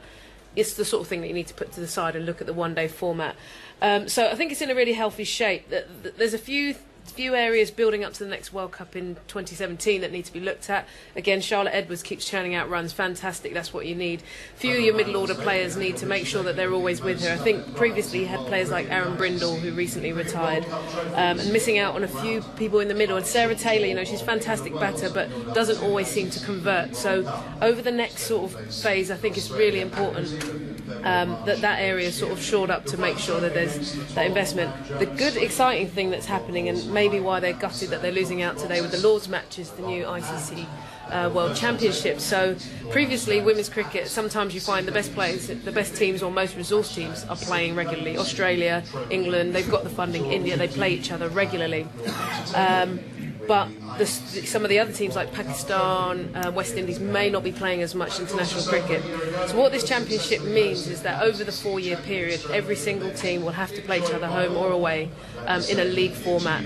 Top four teams will qualify, um, and the bottom four will have to go into regional playoffs to make sure they qualify. So what that now means is more, there's more context um, in the cricket, which previously sometimes there's series, and it Hmm. doesn't matter if you win or lose. Sure. There's not another series for 10 years. So it really puts games into context. So England would have been 2 1 up, um, and, you know, most probably kicking back, might have had a big night out the night before. Goodness me, never heard of it myself. Completely different type of Never, cricket. Yeah, never, never heard of anything like it. but now they'll know, you know, if they were to play today, there's two points on it. So, you know, I, I think it's exciting. It, it's, it's things I would actually like to see more of it sometimes in men's cricket, just putting series into a bit more context, Sure. building it up towards something. So, no, really exciting for women's cricket. And I think England are in a healthy position. 2017 at home, you know, you can't go wrong, really. Okay.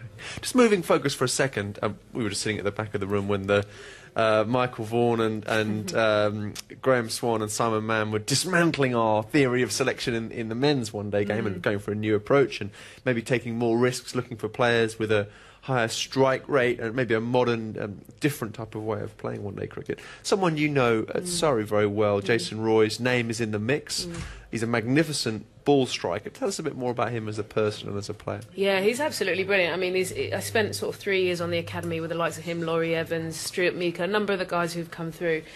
Um, what I like about J. Roy is his, it's his. Is this the official moniker? Is it J. Roy trademark? Or yeah. Yeah. is that J. Lo, J. Roy? Yeah. Yeah. Were you ever V Marks? No, I don't East think I was, actually. Yeah. I, this is where I was going wrong. There's not much you can do with Smith, but we'll talk about that in a second. Sorry, J. Roy. Come back to J. Roy, yeah, yeah. So uh, J. Roy, so he is a big character. You know, as a as a personality, he's out there. People always talk about Surrey players with the Surrey swag. He has got that.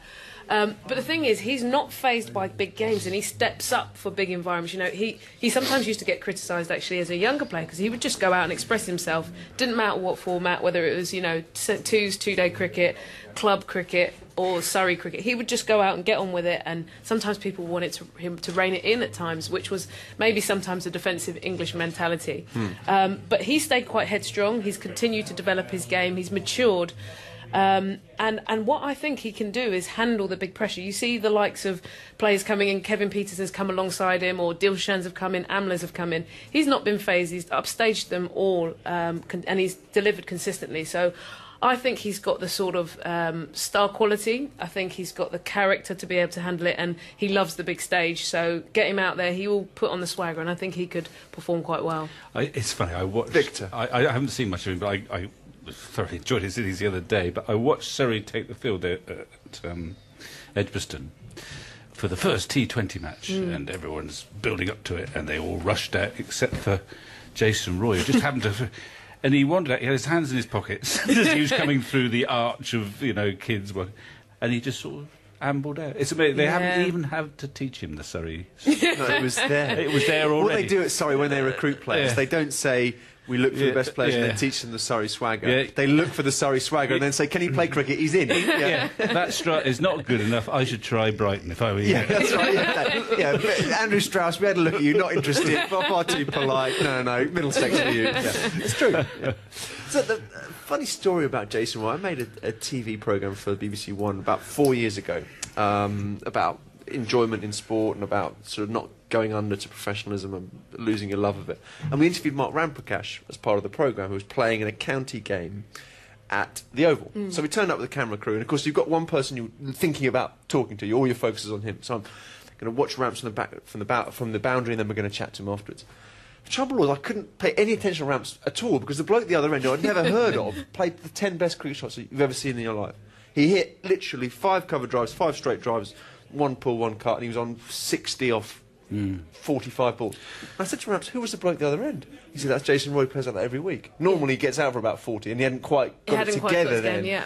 And then the word around is that he's just learning Well, this is the thing as well. Is, is is sometimes people can pigeonhole people into a one-day player and just you know bosh bosh. bosh. He's scoring championship runs. He scored championship hundreds this season. He he can play in every format, and he's now starting to click in. So you know, I'm not saying he's going to be in the Test match Sure, or anything sure. like that, but I I really think in this selection, England could have juiced it up a little bit, and I would have liked to see either him or at least Vince in the lineup. Hmm. I mean, it was it was amazing. The that T20 again. You had Jason Roy batting with KP, and uh, I mean, it just it it just wasn't a contest. Uh, I mean, Roy every time he touched the ball, four runs. KP not playing much cricket, at a sink. It was a real struggle for him. For Roy, it was a, just a breeze. Well, even KP's been on Twitter a number of times saying he thinks Jason Roy's got that X factor. And if there's anybody, you know, Sure. I was a big fan of KP, and he's been on there sort of saying he's got the the, the um, inside the, the mindset, I think, to be able to handle it. Just one thing about hitting. I mean, people imagine that being a hitter is just all about going out there and chancing your arm. I think a lot of it actually, we saw it with early Pietersen as compared to late Pietersen, is about conviction. Mm. It's like knowing that you're going to hit it for six. Mm. If you think, well, I'm a pretty good player, and if I play a big shot, there's a good chance to go for, go for runs. It doesn't work that way. It's the lack of fear, isn't it? yeah. That these guys have, that Jason Roy's have, that Pietersen had as a youngster, Boss had as a youngster. They don't really think about mucking it up. They just go for it.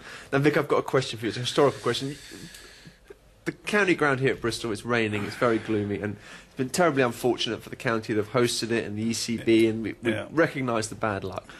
And I'm very fond of the West Country, and as I know, Vic, you are as a West Countryman. However, serious historical question. In all your years, I won't say how many years, as a player, a commentator, a pundit, an analyst, have you ever seen the sun come out in Bristol? Well, I'm sure I have. Of course, you know, if you're talking to true West Country folk, they don't really count Bristol as the West Country. It's far too easterly. uh, and it's obviously why Somerset and Gloucester have never won the championship properly. It rains a lot down here.